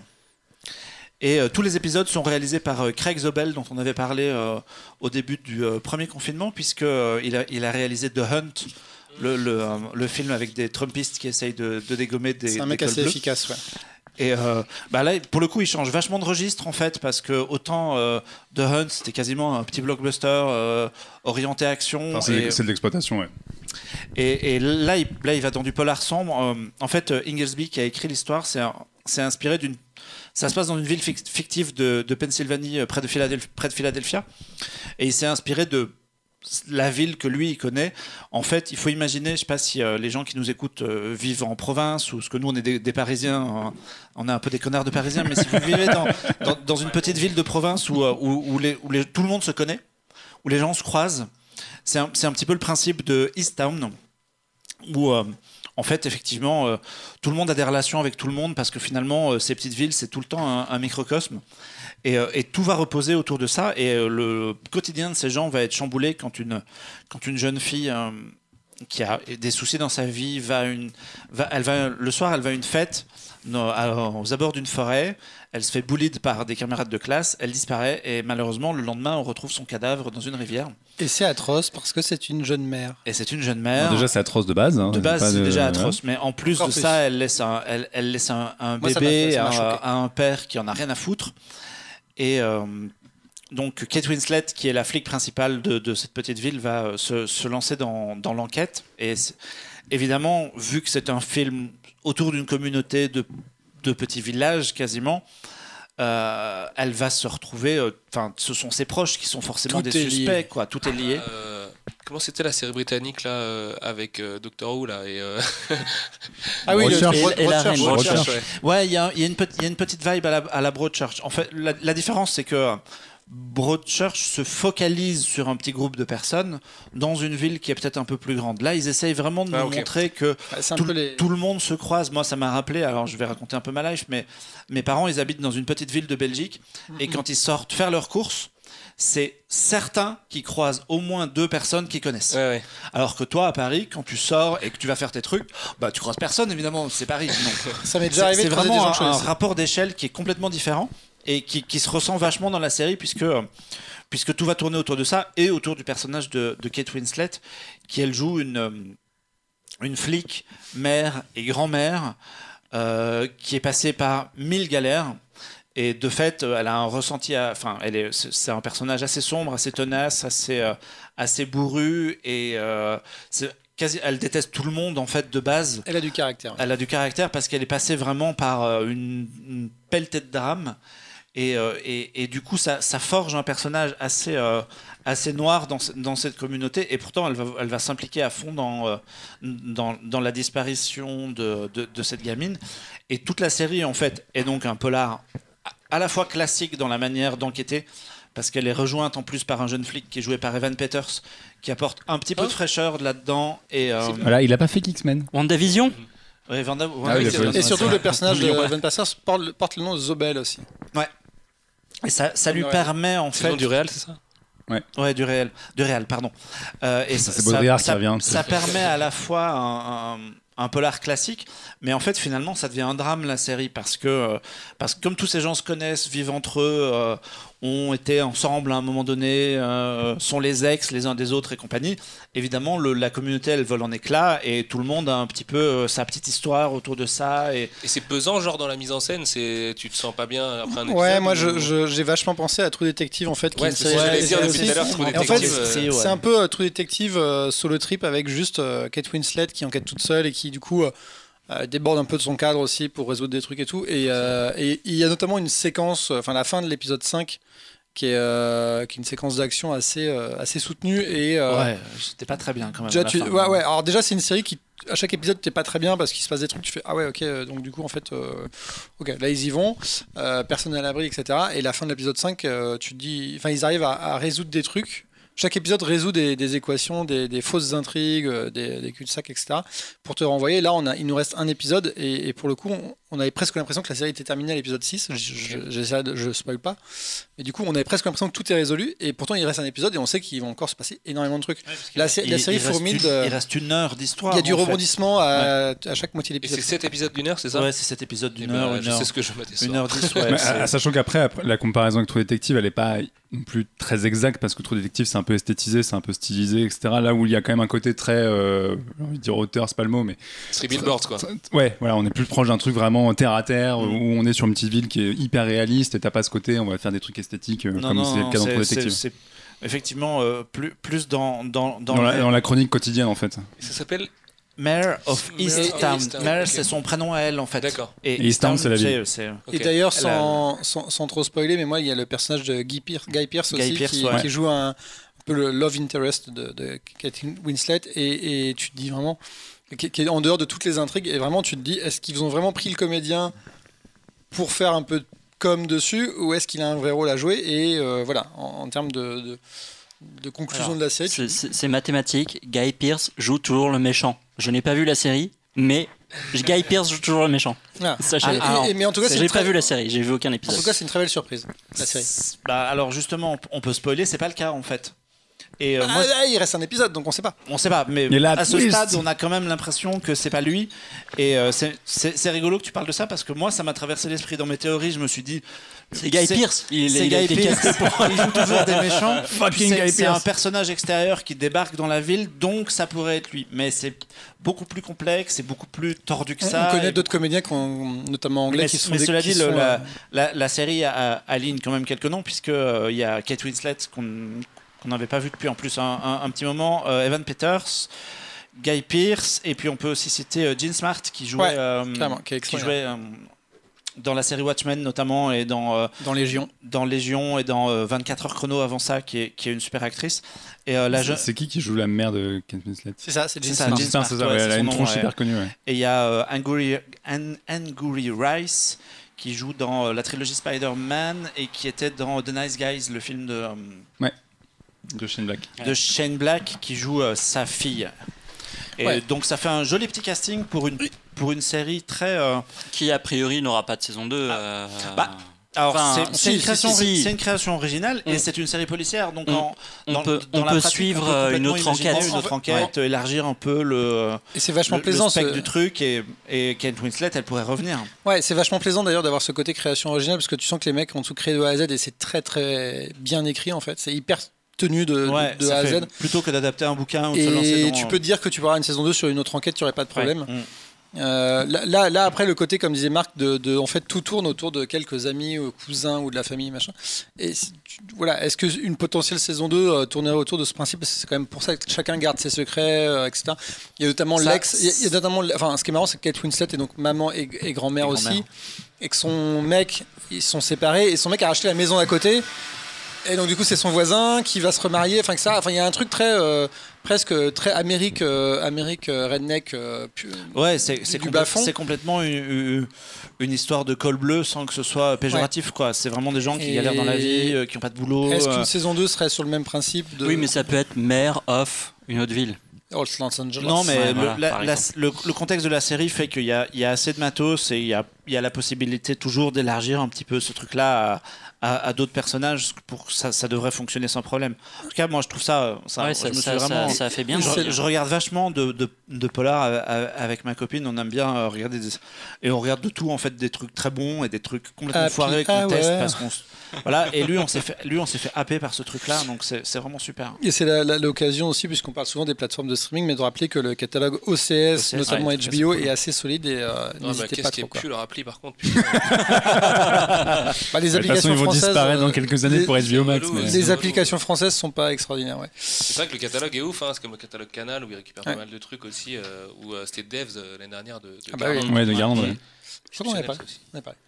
Euh, Tout ça, bien entendu, avant de retrouver Kate Winslet dans Avatar Avatar 2. 2. Titanic 2. Avatar Ah, 2. Ah, On mais oui, c'est très très hâte de la Avatar. voir dans Puisque Avatar. maintenant, elle fait de Elle- l'apnée pendant 8 minutes. Elle- je pense qu'elle fait plus d'apnée que le mec de la sage de Attends, du coup, c'est le retour de Kate Winslet chez James Cameron? Je t'ai Ouais. passé à côté de Ouais, ça. ouais, elle est, elle, elle est dans Avatar 2. Et ça donc, elle ça a sort en appris, 2022. Elle, donc, elle euh, fait de la plongée ok. tous les Elle, jours. sait- elle sait plonger 8 minutes solo. Ok, Parce Tom qu'il joue Cruise. solo dans le Avatar 2. ok, ok, ok. Un film qui sortira dans 5 ans. Euh, L'année prochaine, Noël 2022. Transition. Tu l'as ou pas?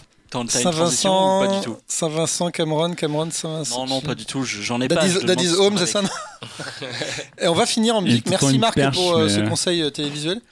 Et la perche était Non, non, j'en avais pas. Ah, là, voilà. C'était pour ça. Eh ben, Daddy's Home, euh, James Cameron euh, est de retour. mais, euh, C'est cool, c'est moi qui ai le droit à la pire transition de l'émission. Je suis et- super et on content. va parler surtout, surtout, surtout du retour de Saint-Vincent, qui est une, euh, une, une chanteuse euh, et songwriter qui, euh, qui n'en est pas à ses débuts, et Non, qui nous étonne à chaque fois. Oui, parce que Saint-Vincent, de son vrai nom, Annie Clark, euh, elle a commencé dans, à la fin des années 2000. On l'a connue en fait parce qu'elle était guitariste pour plusieurs groupes. Elle a bossé pour les Polyphonic Spree et pour euh, Stevens avant de se faire un nom en solo avec le, donc, le pseudonyme de Saint-Vincent, puisqu'elle a fait euh, à la fin des années 2000 euh, un album, enfin deux albums qui ont un peu fait parler d'elle, qui étaient Marry Me et Actor. Et elle a surpris son monde parce que c'était la petite nana qui arrivait et qui ressemblait à une espèce de chanteuse indé folk et qui faisait un espèce de rock complètement bigarré où elle s'amusait à faire des structures arythmiques. Et en fait, c'est une putain de guitariste, il faut le dire tout de suite pour vraiment un peu situer le personnage, et qui s'amusait à faire une un espèce de pop rock un peu électro où elle vraiment déconstruisait les structures classiques de genre de musique. Et elle avait un univers à elle. D'ailleurs, elle a en fait très vite fait son trou parce que euh, dès son troisième album, elle a été approchée par David Byrne, qui est le chanteur des Talking Heads, pour faire un album de jazz. Et en fait, c'est quelqu'un qui s'est très vite défini par sa capacité à se réinventer. Euh, et on va, Daddy's Home, le nouvel album qui est le septième, euh, le prouve plus que, plus que tout. Euh, il faut un peu situer le perso parce que ce qui est intéressant avec Saint-Vincent, c'est cette capacité un peu caméléon. C'est quelqu'un qui est Exactement. très influencé par notamment Kate Bush ou par un certain David Bowie. Et on sait que David Bowie était quelqu'un qui se réinventait beaucoup. Et euh, en fait, elle a, elle a vraiment fait son trou dans les années 2010 puisqu'elle a fait euh, deux albums qui ont fait beaucoup parler d'elle, à savoir ça, euh, euh, Strange Mercy et un album éponyme qui s'appelait donc Saint-Vincent.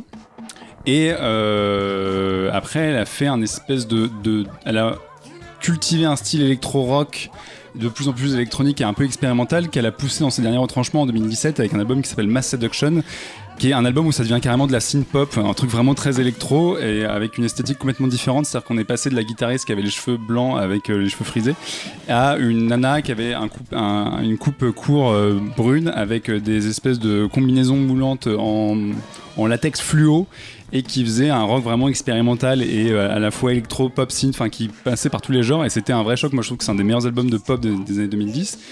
Et en fait, cette meuf-là, qui est assez discrète, euh, notamment en Europe, euh, a fait son trou parce qu'elle a été hyper reconnue aux États-Unis. C'est une nana qui a, gagné des Grammy Awards. Elle a notamment joué aux Grammy Awards avec Dua Lipa, dont vous avez peut-être entendu parler récemment. Euh, elle a été approchée par un certain groupe qui s'appelle Nirvana. Alors évidemment sans Kurt Cobain, mais quand ils se sont reformés pour jouer au Rock'n'Roll of Fame, ils avaient invité des, chanteurs différents à chanter sur des morceaux différents. Et c'est elle qui a pu chanter Lithium, ce qui est quand même un peu la classe. Elle est passée encore aux Grammy Awards pour faire la cérémonie hommage à Prince l'an dernier et c'est elle qui a repris C'était absolument mortel. Et plus récemment, elle a fait un duo avec les Chemical Brothers, elle est dans le dernier album de Gorillaz, et quand euh, Nine Inch Nails a été introduit au Rock'n'Roll Hall of Fame, c'est une des nanas qui venait pour parler de Nine Inch Nails en compagnie d'un certain David Fincher. Donc elle a fait son trou, Saint-Vincent, c'est quelqu'un aujourd'hui qui est très reconnu, d'autant plus que, un petit détail qui est assez marrant sur elle, alors, on pourrait encore faire du name dropping. Elle bosse pour Slater Kinney. Elle a composé aussi pour euh, Taylor Swift. Donc, elle est aussi bien en fait dans des trucs mainstream que dans des trucs plus. Taylor euh, Swift, ça je connais. Taylor Swift, je savais que ça parlerait à certaines personnes. Mais un, un truc qui est assez marrant avec, euh, avec Saint-Vincent et qui a fait aussi qu'elle est connue, c'est que c'est une meuf qui a créé une guitare. Et alors, quand je dis créer une guitare, c'est que quand vous allez euh, chez des luthiers et chez des fabricants de guitares, que ce soit Fender, Gibson, et vous mettez tous les noms que vous voulez, quand ils approchent des artistes connus, ça peut être The Edge de U2, ça peut être Flea des Red Hot Chili Peppers, etc. En fait, ces gens-là qui font des guitares signatures reprennent des modèles existants et changent des trucs. Ils changent un micro, ils changent un machin. Elle, elle est arrivée, elle a fait non, je design ma guitare de A à Z et elle a créé un instrument qui est complètement bizarre, mais qui, en fait, à la base, a été conçu pour que les femmes puissent en jouer, notamment par rapport à leur morphologie. Et elle a réussi à créer une guitare qui aujourd'hui, vous voyez un peu partout. En fait, il y a plus en plus d'artistes qui jouent avec et ça a été créé par Saint-Vincent. Donc pour dire en fait que la meuf est super calée. Et donc, son dernier album, Mass Seduction, c'était un espèce de son qui semblait venir du futur, où elle vraiment, elle prenait à la fois du David Bowie, du Prince, mais puissance 1000 avec de la synth-pop dans tous les sens. Et elle arrive avec son nouvel album où elle fait un virage absolument à 180 degrés parce que Exit les tenues en, latex moulant et euh, le- les sons très électroniques. On la retrouve avec un carré euh, platine, elle est habillée avec euh, de la fourrure, avec des pantalons pas de def et de chemisiers en satin et elle fait un album de soul qui, euh, en fait, son objectif c'était de se remémorer les trucs qu'écoutait son père quand elle a- qui avait grandi dans les années 70 et de retrouver un peu ce style 70s et donc on a un album de soul avec des influences funk, etc. et qui change en fait complètement musicalement de ce qu'elle faisait auparavant. Euh, on oublie un peu le côté électronique, on a vraiment aujourd'hui des sonorités qui sont très orientales, elle utilise notamment de la sitar, il y a des orgues, elle a des chœurs avec elle, et notamment dans les chœurs pour dire, elle a Kenya Hathaway qui est la fille de Donny Hathaway qui est un des, vraiment des barons de la soul euh, américaine. Et ce qui est hyper intéressant, c'est que à la fois, euh, quand tu connais un petit peu Saint-Vincent, si on t'avait mis un morceau de ce nouvel album il y a 10 ans, t'aurais jamais pu imaginer que c'était elle qui ferait ça. Et en même temps, en fait, dans sa discographie, l'album aujourd'hui, il fait sens et il s'inscrit en fait à la fois, on reconnaît son style et en même temps, elle s'est vraiment réinventée de A à Z et elle fait ça à chaque album. Et euh, en fait, c'est une artiste qui est complètement imprévisible. Et euh, le titre, pour situer un petit peu euh, le contexte, euh, le daddy en question, bah, c'est le sien, parce qu'en fait, son père a été en tôle pendant 12 ans pour euh, des questions de fraude fiscale. Et c'est un truc qu'elle avait complètement caché, parce que évidemment, elle se cache derrière un pseudonyme, et c'est vraiment une artiste complète qui essaie de faire passer son art devant sa personnalité. Sauf qu'elle est sortie avec Cara Delevingne et avec Kristen Stewart il y a quelques années, et évidemment, les médias s'en sont emparés. Et en fait, c'est les journalistes et les paparazzi qui ont fouillé et qui se sont rendus compte que, oh mon dieu, euh, scandale, Cara Delevingne sort avec une meuf dont le père est en prison. Et euh, ont foutu ça un peu sur les médias. Et elle, pour se venger, s'est dit, bah, je vais me réapproprier ça. Et en fait, je vais le traiter via l'art, donc je vais le traiter via ma musique. Et donc, c'est aussi pour ça qu'elle a appro- approché ce style 70s, parce que son père aimait ça. Elle était assez proche de son père. Et euh, notamment, il y a une chanson éponyme d'Anisome où elle explique que, par exemple, quand elle allait le voir en prison, et bah, euh, elle signait des autographes dans les salles d'attente.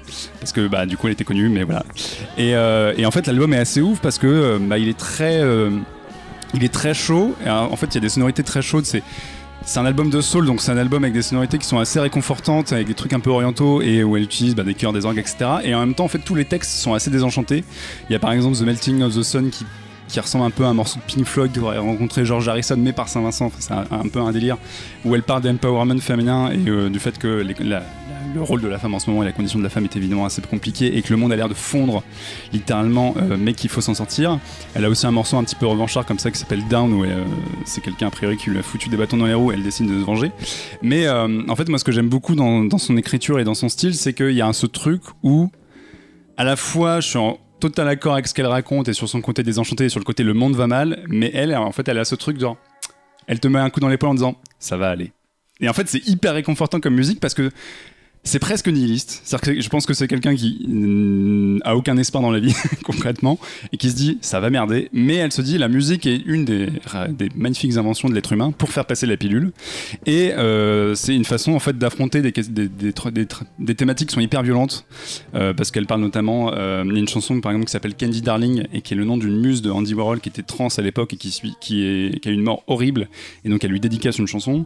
Il y a le premier morceau qui est assez euh, explicite qui s'appelle Pay Your Way in Où elle explique bah, justement tous les travers qu'elle a eu euh, par rapport aux médias et en quoi euh, la vie c'est quand même une sacrée chienne par moment. Mais elle le fait avec humour et avec un côté un peu kinky. Ou euh, par exemple il y a un morceau qui est assez génial qui s'appelle The Laughing Man où le refrain c'est littéralement si la vie est une blague alors je mourrai en riant donc en fait il y a vraiment ce truc est l'album est je pense profondément triste. Et en même temps quand tu l'écoutes parce que c'est de la soul, parce qu'il y a des instruments funk, parce qu'elle a un univers musical qui est très chaud et qui est assez différent de ce qu'elle faisait d'habitude. En fait, vraiment, t'as ce truc de t'as l'impression qu'elle te met le manteau de fourrure sur les épaules et qu'elle dit Allez, viens, on va se balader dans New York dans les années 70. C'est assez rigolo. Et, euh, et c'est assez fascinant parce qu'encore une fois, en fait, on n'aurait jamais pu prévoir ça venant d'elle et elle est en total. Enfin, c'est quelqu'un qui bosse énormément et à la fois c'est un album nostalgique parce que les sonorités sont nostalgiques, parce qu'elle euh, se réapproprie tout un tas de sonorités et des artistes qu'elle adore. Mais en fait, ce genre de truc, généralement, ça peut tomber dans le piège de bah, on fait ce qui a déjà été fait en moins bien et tu tombes dans des trucs. euh, bah, un peu voilà, ce qu'on reproche au cinéma et ce qu'on reproche à plein de choses en ce moment, de la nostalgie un peu facile. Et ce qui est assez fascinant et ce qui est bien avec une artiste comme ça qui est totale, c'est qu'elle tombe pas dans ce piège-là. C'est qu'à la fois elle convoque tout un univers musical et des influences qu'on connaît tous, mais elle y arrive en s'appropriant le truc et c'est évident que c'est un album de Saint-Vincent parce que les sonorités sont toujours un peu cheloues, notamment le premier morceau Pay in Pain. Et un peu cette espèce d'électronique un peu pété mais un peu old school et, et elle joue avec ça. Et en fait d'un morceau à l'autre même s'il y a euh, vraiment la volonté de faire une thématique et notamment l'album a des interludes pour essayer de recréer un peu l'ambiance des, rues de New York à l'époque etc il y a ce truc de bah je vais euh, ça reste ma musique même si j'utilise des instruments et j'utilise quelque part un univers qui n'était pas du tout le mien euh, dans mes précédents albums je reste Saint-Vincent je reste avec mon écriture à moi. Et en fait ça prouve que cette meuf là si euh, on peut faire du name dropping avec elle et si elle est aussi influente et aussi sollicitée c'est qu'elle a quand même son truc à elle et elle le prouve encore une fois tout en surprenant tout le monde donc je pense que c'est une énorme qualité Eh ben, merci Jean-Victor.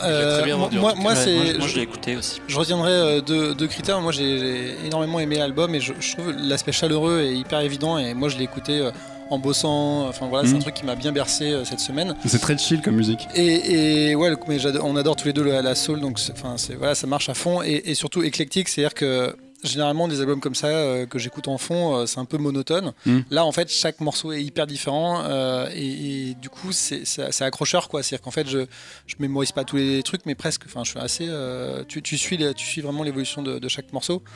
Et, Parce euh, que, parce et que c'est marrant, c'est qu'il y a des trucs qui sont très pop et très catchy où Ouais. t'as envie de chanter, et à l'inverse, direct après je une balade l'avais qui marche vachement bien quoi. Je l'avais quitté tellement plus euh, hard- pas hardcore, mais en tout cas un peu plus punchy. Euh, là, t'as l'impression qu'elle fait un truc un peu cool, un peu doux et tout, et c'est hyper appréciable parce qu'en fait, ça peut s'écouter dans de nombreuses circonstances. Ça peut être un album de fond qui reste un peu petite pépite. Je dis pas que c'est le Un truc peu, que tu un vas- peu lounge. Exactement. Ben si, ouais, en fait, c'est exactement ça. c'est que ouais. tu, tu peux avoir un truc. euh, on pourrait se le mettre. On va, on va se mettre un petit fond sonore On tranquille. mettra la, la partie un peu plus dynamique, ouais, un peu mais, mais moi, bon, moi, je vais redire ce que j'ai dit. Ce que- Parce que non, je vais redire ce que j'ai déjà dit en off et vous m'avez dit, mais t'es complètement malade. Ça, je te jure, ça- son album, quand je l'ai écouté, je connaissais un petit peu parce que tu m'avais quand même envoyé quelques morceaux. Mais ça, son timbre de voix et son album me fait penser à Annie, Lennox, Annie, Annie Lennox pardon, et Eurythmics. Je Ah, Eurythmics, a- je comprends. A- éventuellement, sur le premier morceau, tu peux je dire c'est y a euh, un, un- un au style, ralenti. quoi. Il y a un style. Il y a un style électro-pop comme ça. euh, Ouais, mais justement, un là, c'est plus school. trop électro. old school, un peu comme tu dis, années 70-80. Et, euh, et et dans, son, dans son timbre de voix aussi, je trouve qu'on retrouve beaucoup euh, Annie Lennox, qui est pour moi une, une énorme qualité, parce que c'est une excellente chanteuse. Mais euh, ouais, l'album, c'est un vrai kiff. ouais, je, vais te répondre ce que Marc t'a répondu quand tu nous avais dit ça, mais t'es malade, mec. c'est pas grave. c'est En pas fait, grave, je- pis. Ça n'a pas de rapport. C'est très sympa, mais je trouve que ça Je, je ça n'a pas soupçonne, de rapport. Je soupçonne Jean-Victor d'aimer ce, côté un peu album cool, posé. T'es un mec posé en fait. Mais en, en plus, T'es un mec marrant- à la cool, C'est quoi. un mec à la cool, moi. Non, mais ce qui est marrant, c'est que son Parce que- précédent album, Mass Seduction, que je, vraiment je trouve absolument monstrueux, est un album super euh, euphorisant où c'est vraiment de l'électro-pop qui te donne envie de danser et, euh, et c'est pas du tout le même délire. Et, et en fait, moi, j'ai vraiment accroché à Saint-Vincent à ce moment-là. Et quelque part, j'aurais aimé qu'elle continue dans, ce- dans cette euh, tranche-là, mais elle, elle a décidé de faire sa voix et de dire non, je vais pas faire deux fois la même chose. Et je m'attendais pas du tout à ça, et en même temps, je suis très content qu'elle ait fait parce que je trouve ça vachement bien. Et c'est d'autant plus drôle qu'à la base, elle avait expliqué en interview qu'elle voulait faire un album de métal. Elle en est évidemment Oui, très loin. voir. Pas du mais le contexte est fait et son, le fait que son père sorte de prison, enfin en fait les, les circonstances l'ont amené sur autre chose et d'ailleurs c'est très cool parce qu'elle a dit que l'album de métal était toujours en projet donc on a hâte de voir ce que ça donnera. Mais, euh, mais voilà, elle est hyper versatile et elle est assez imprévisible, quoi, ce qui est toujours assez passionnant. Et ce qui est, encore une fois très drôle, c'est que tu te dis, quand tu retraces quand tu remets sa discographie à plat, l'album il, fait sens, même si on n'aurait jamais pu deviner qu'elle ferait ça à un moment. Quand tu l'écoutes, si vous écoutez les albums dans la continuité, euh, en fait, il tombe à pic cet album-là et tu dis, ah, ok, ça marche, c'est logique.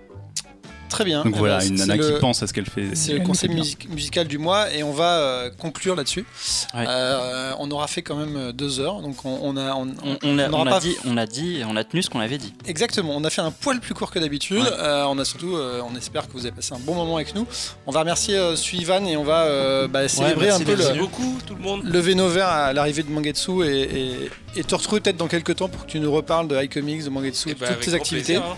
Alors Ou- peut-être même d'un autre Oui, projet voilà, avec j'allais dire, quelqu'un. T'as t'as lancé les mangas, t'as lancé un comics, qu'est-ce qui se passe après euh, Ouais, je, je crois qu'il y a eu un crowdfunding entre temps, on en reparlera bientôt. euh, Explosé, oui. Oui, c'est vrai. avec un certain halt.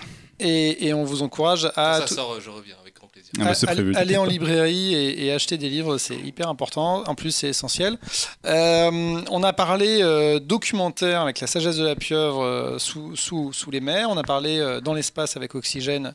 Les deux sont sur Netflix. On a parlé de Remember Baudri- Baudrillard, biographie à retrouver également en librairie Chez Fayard, ouais. chez Fayard. On a retrouvé, euh, on a retrouvé Kate Winslet dans Mayor of Easttown, dont l'épisode ultime, c'est demain soir. Et j'ai bien hâte de savoir.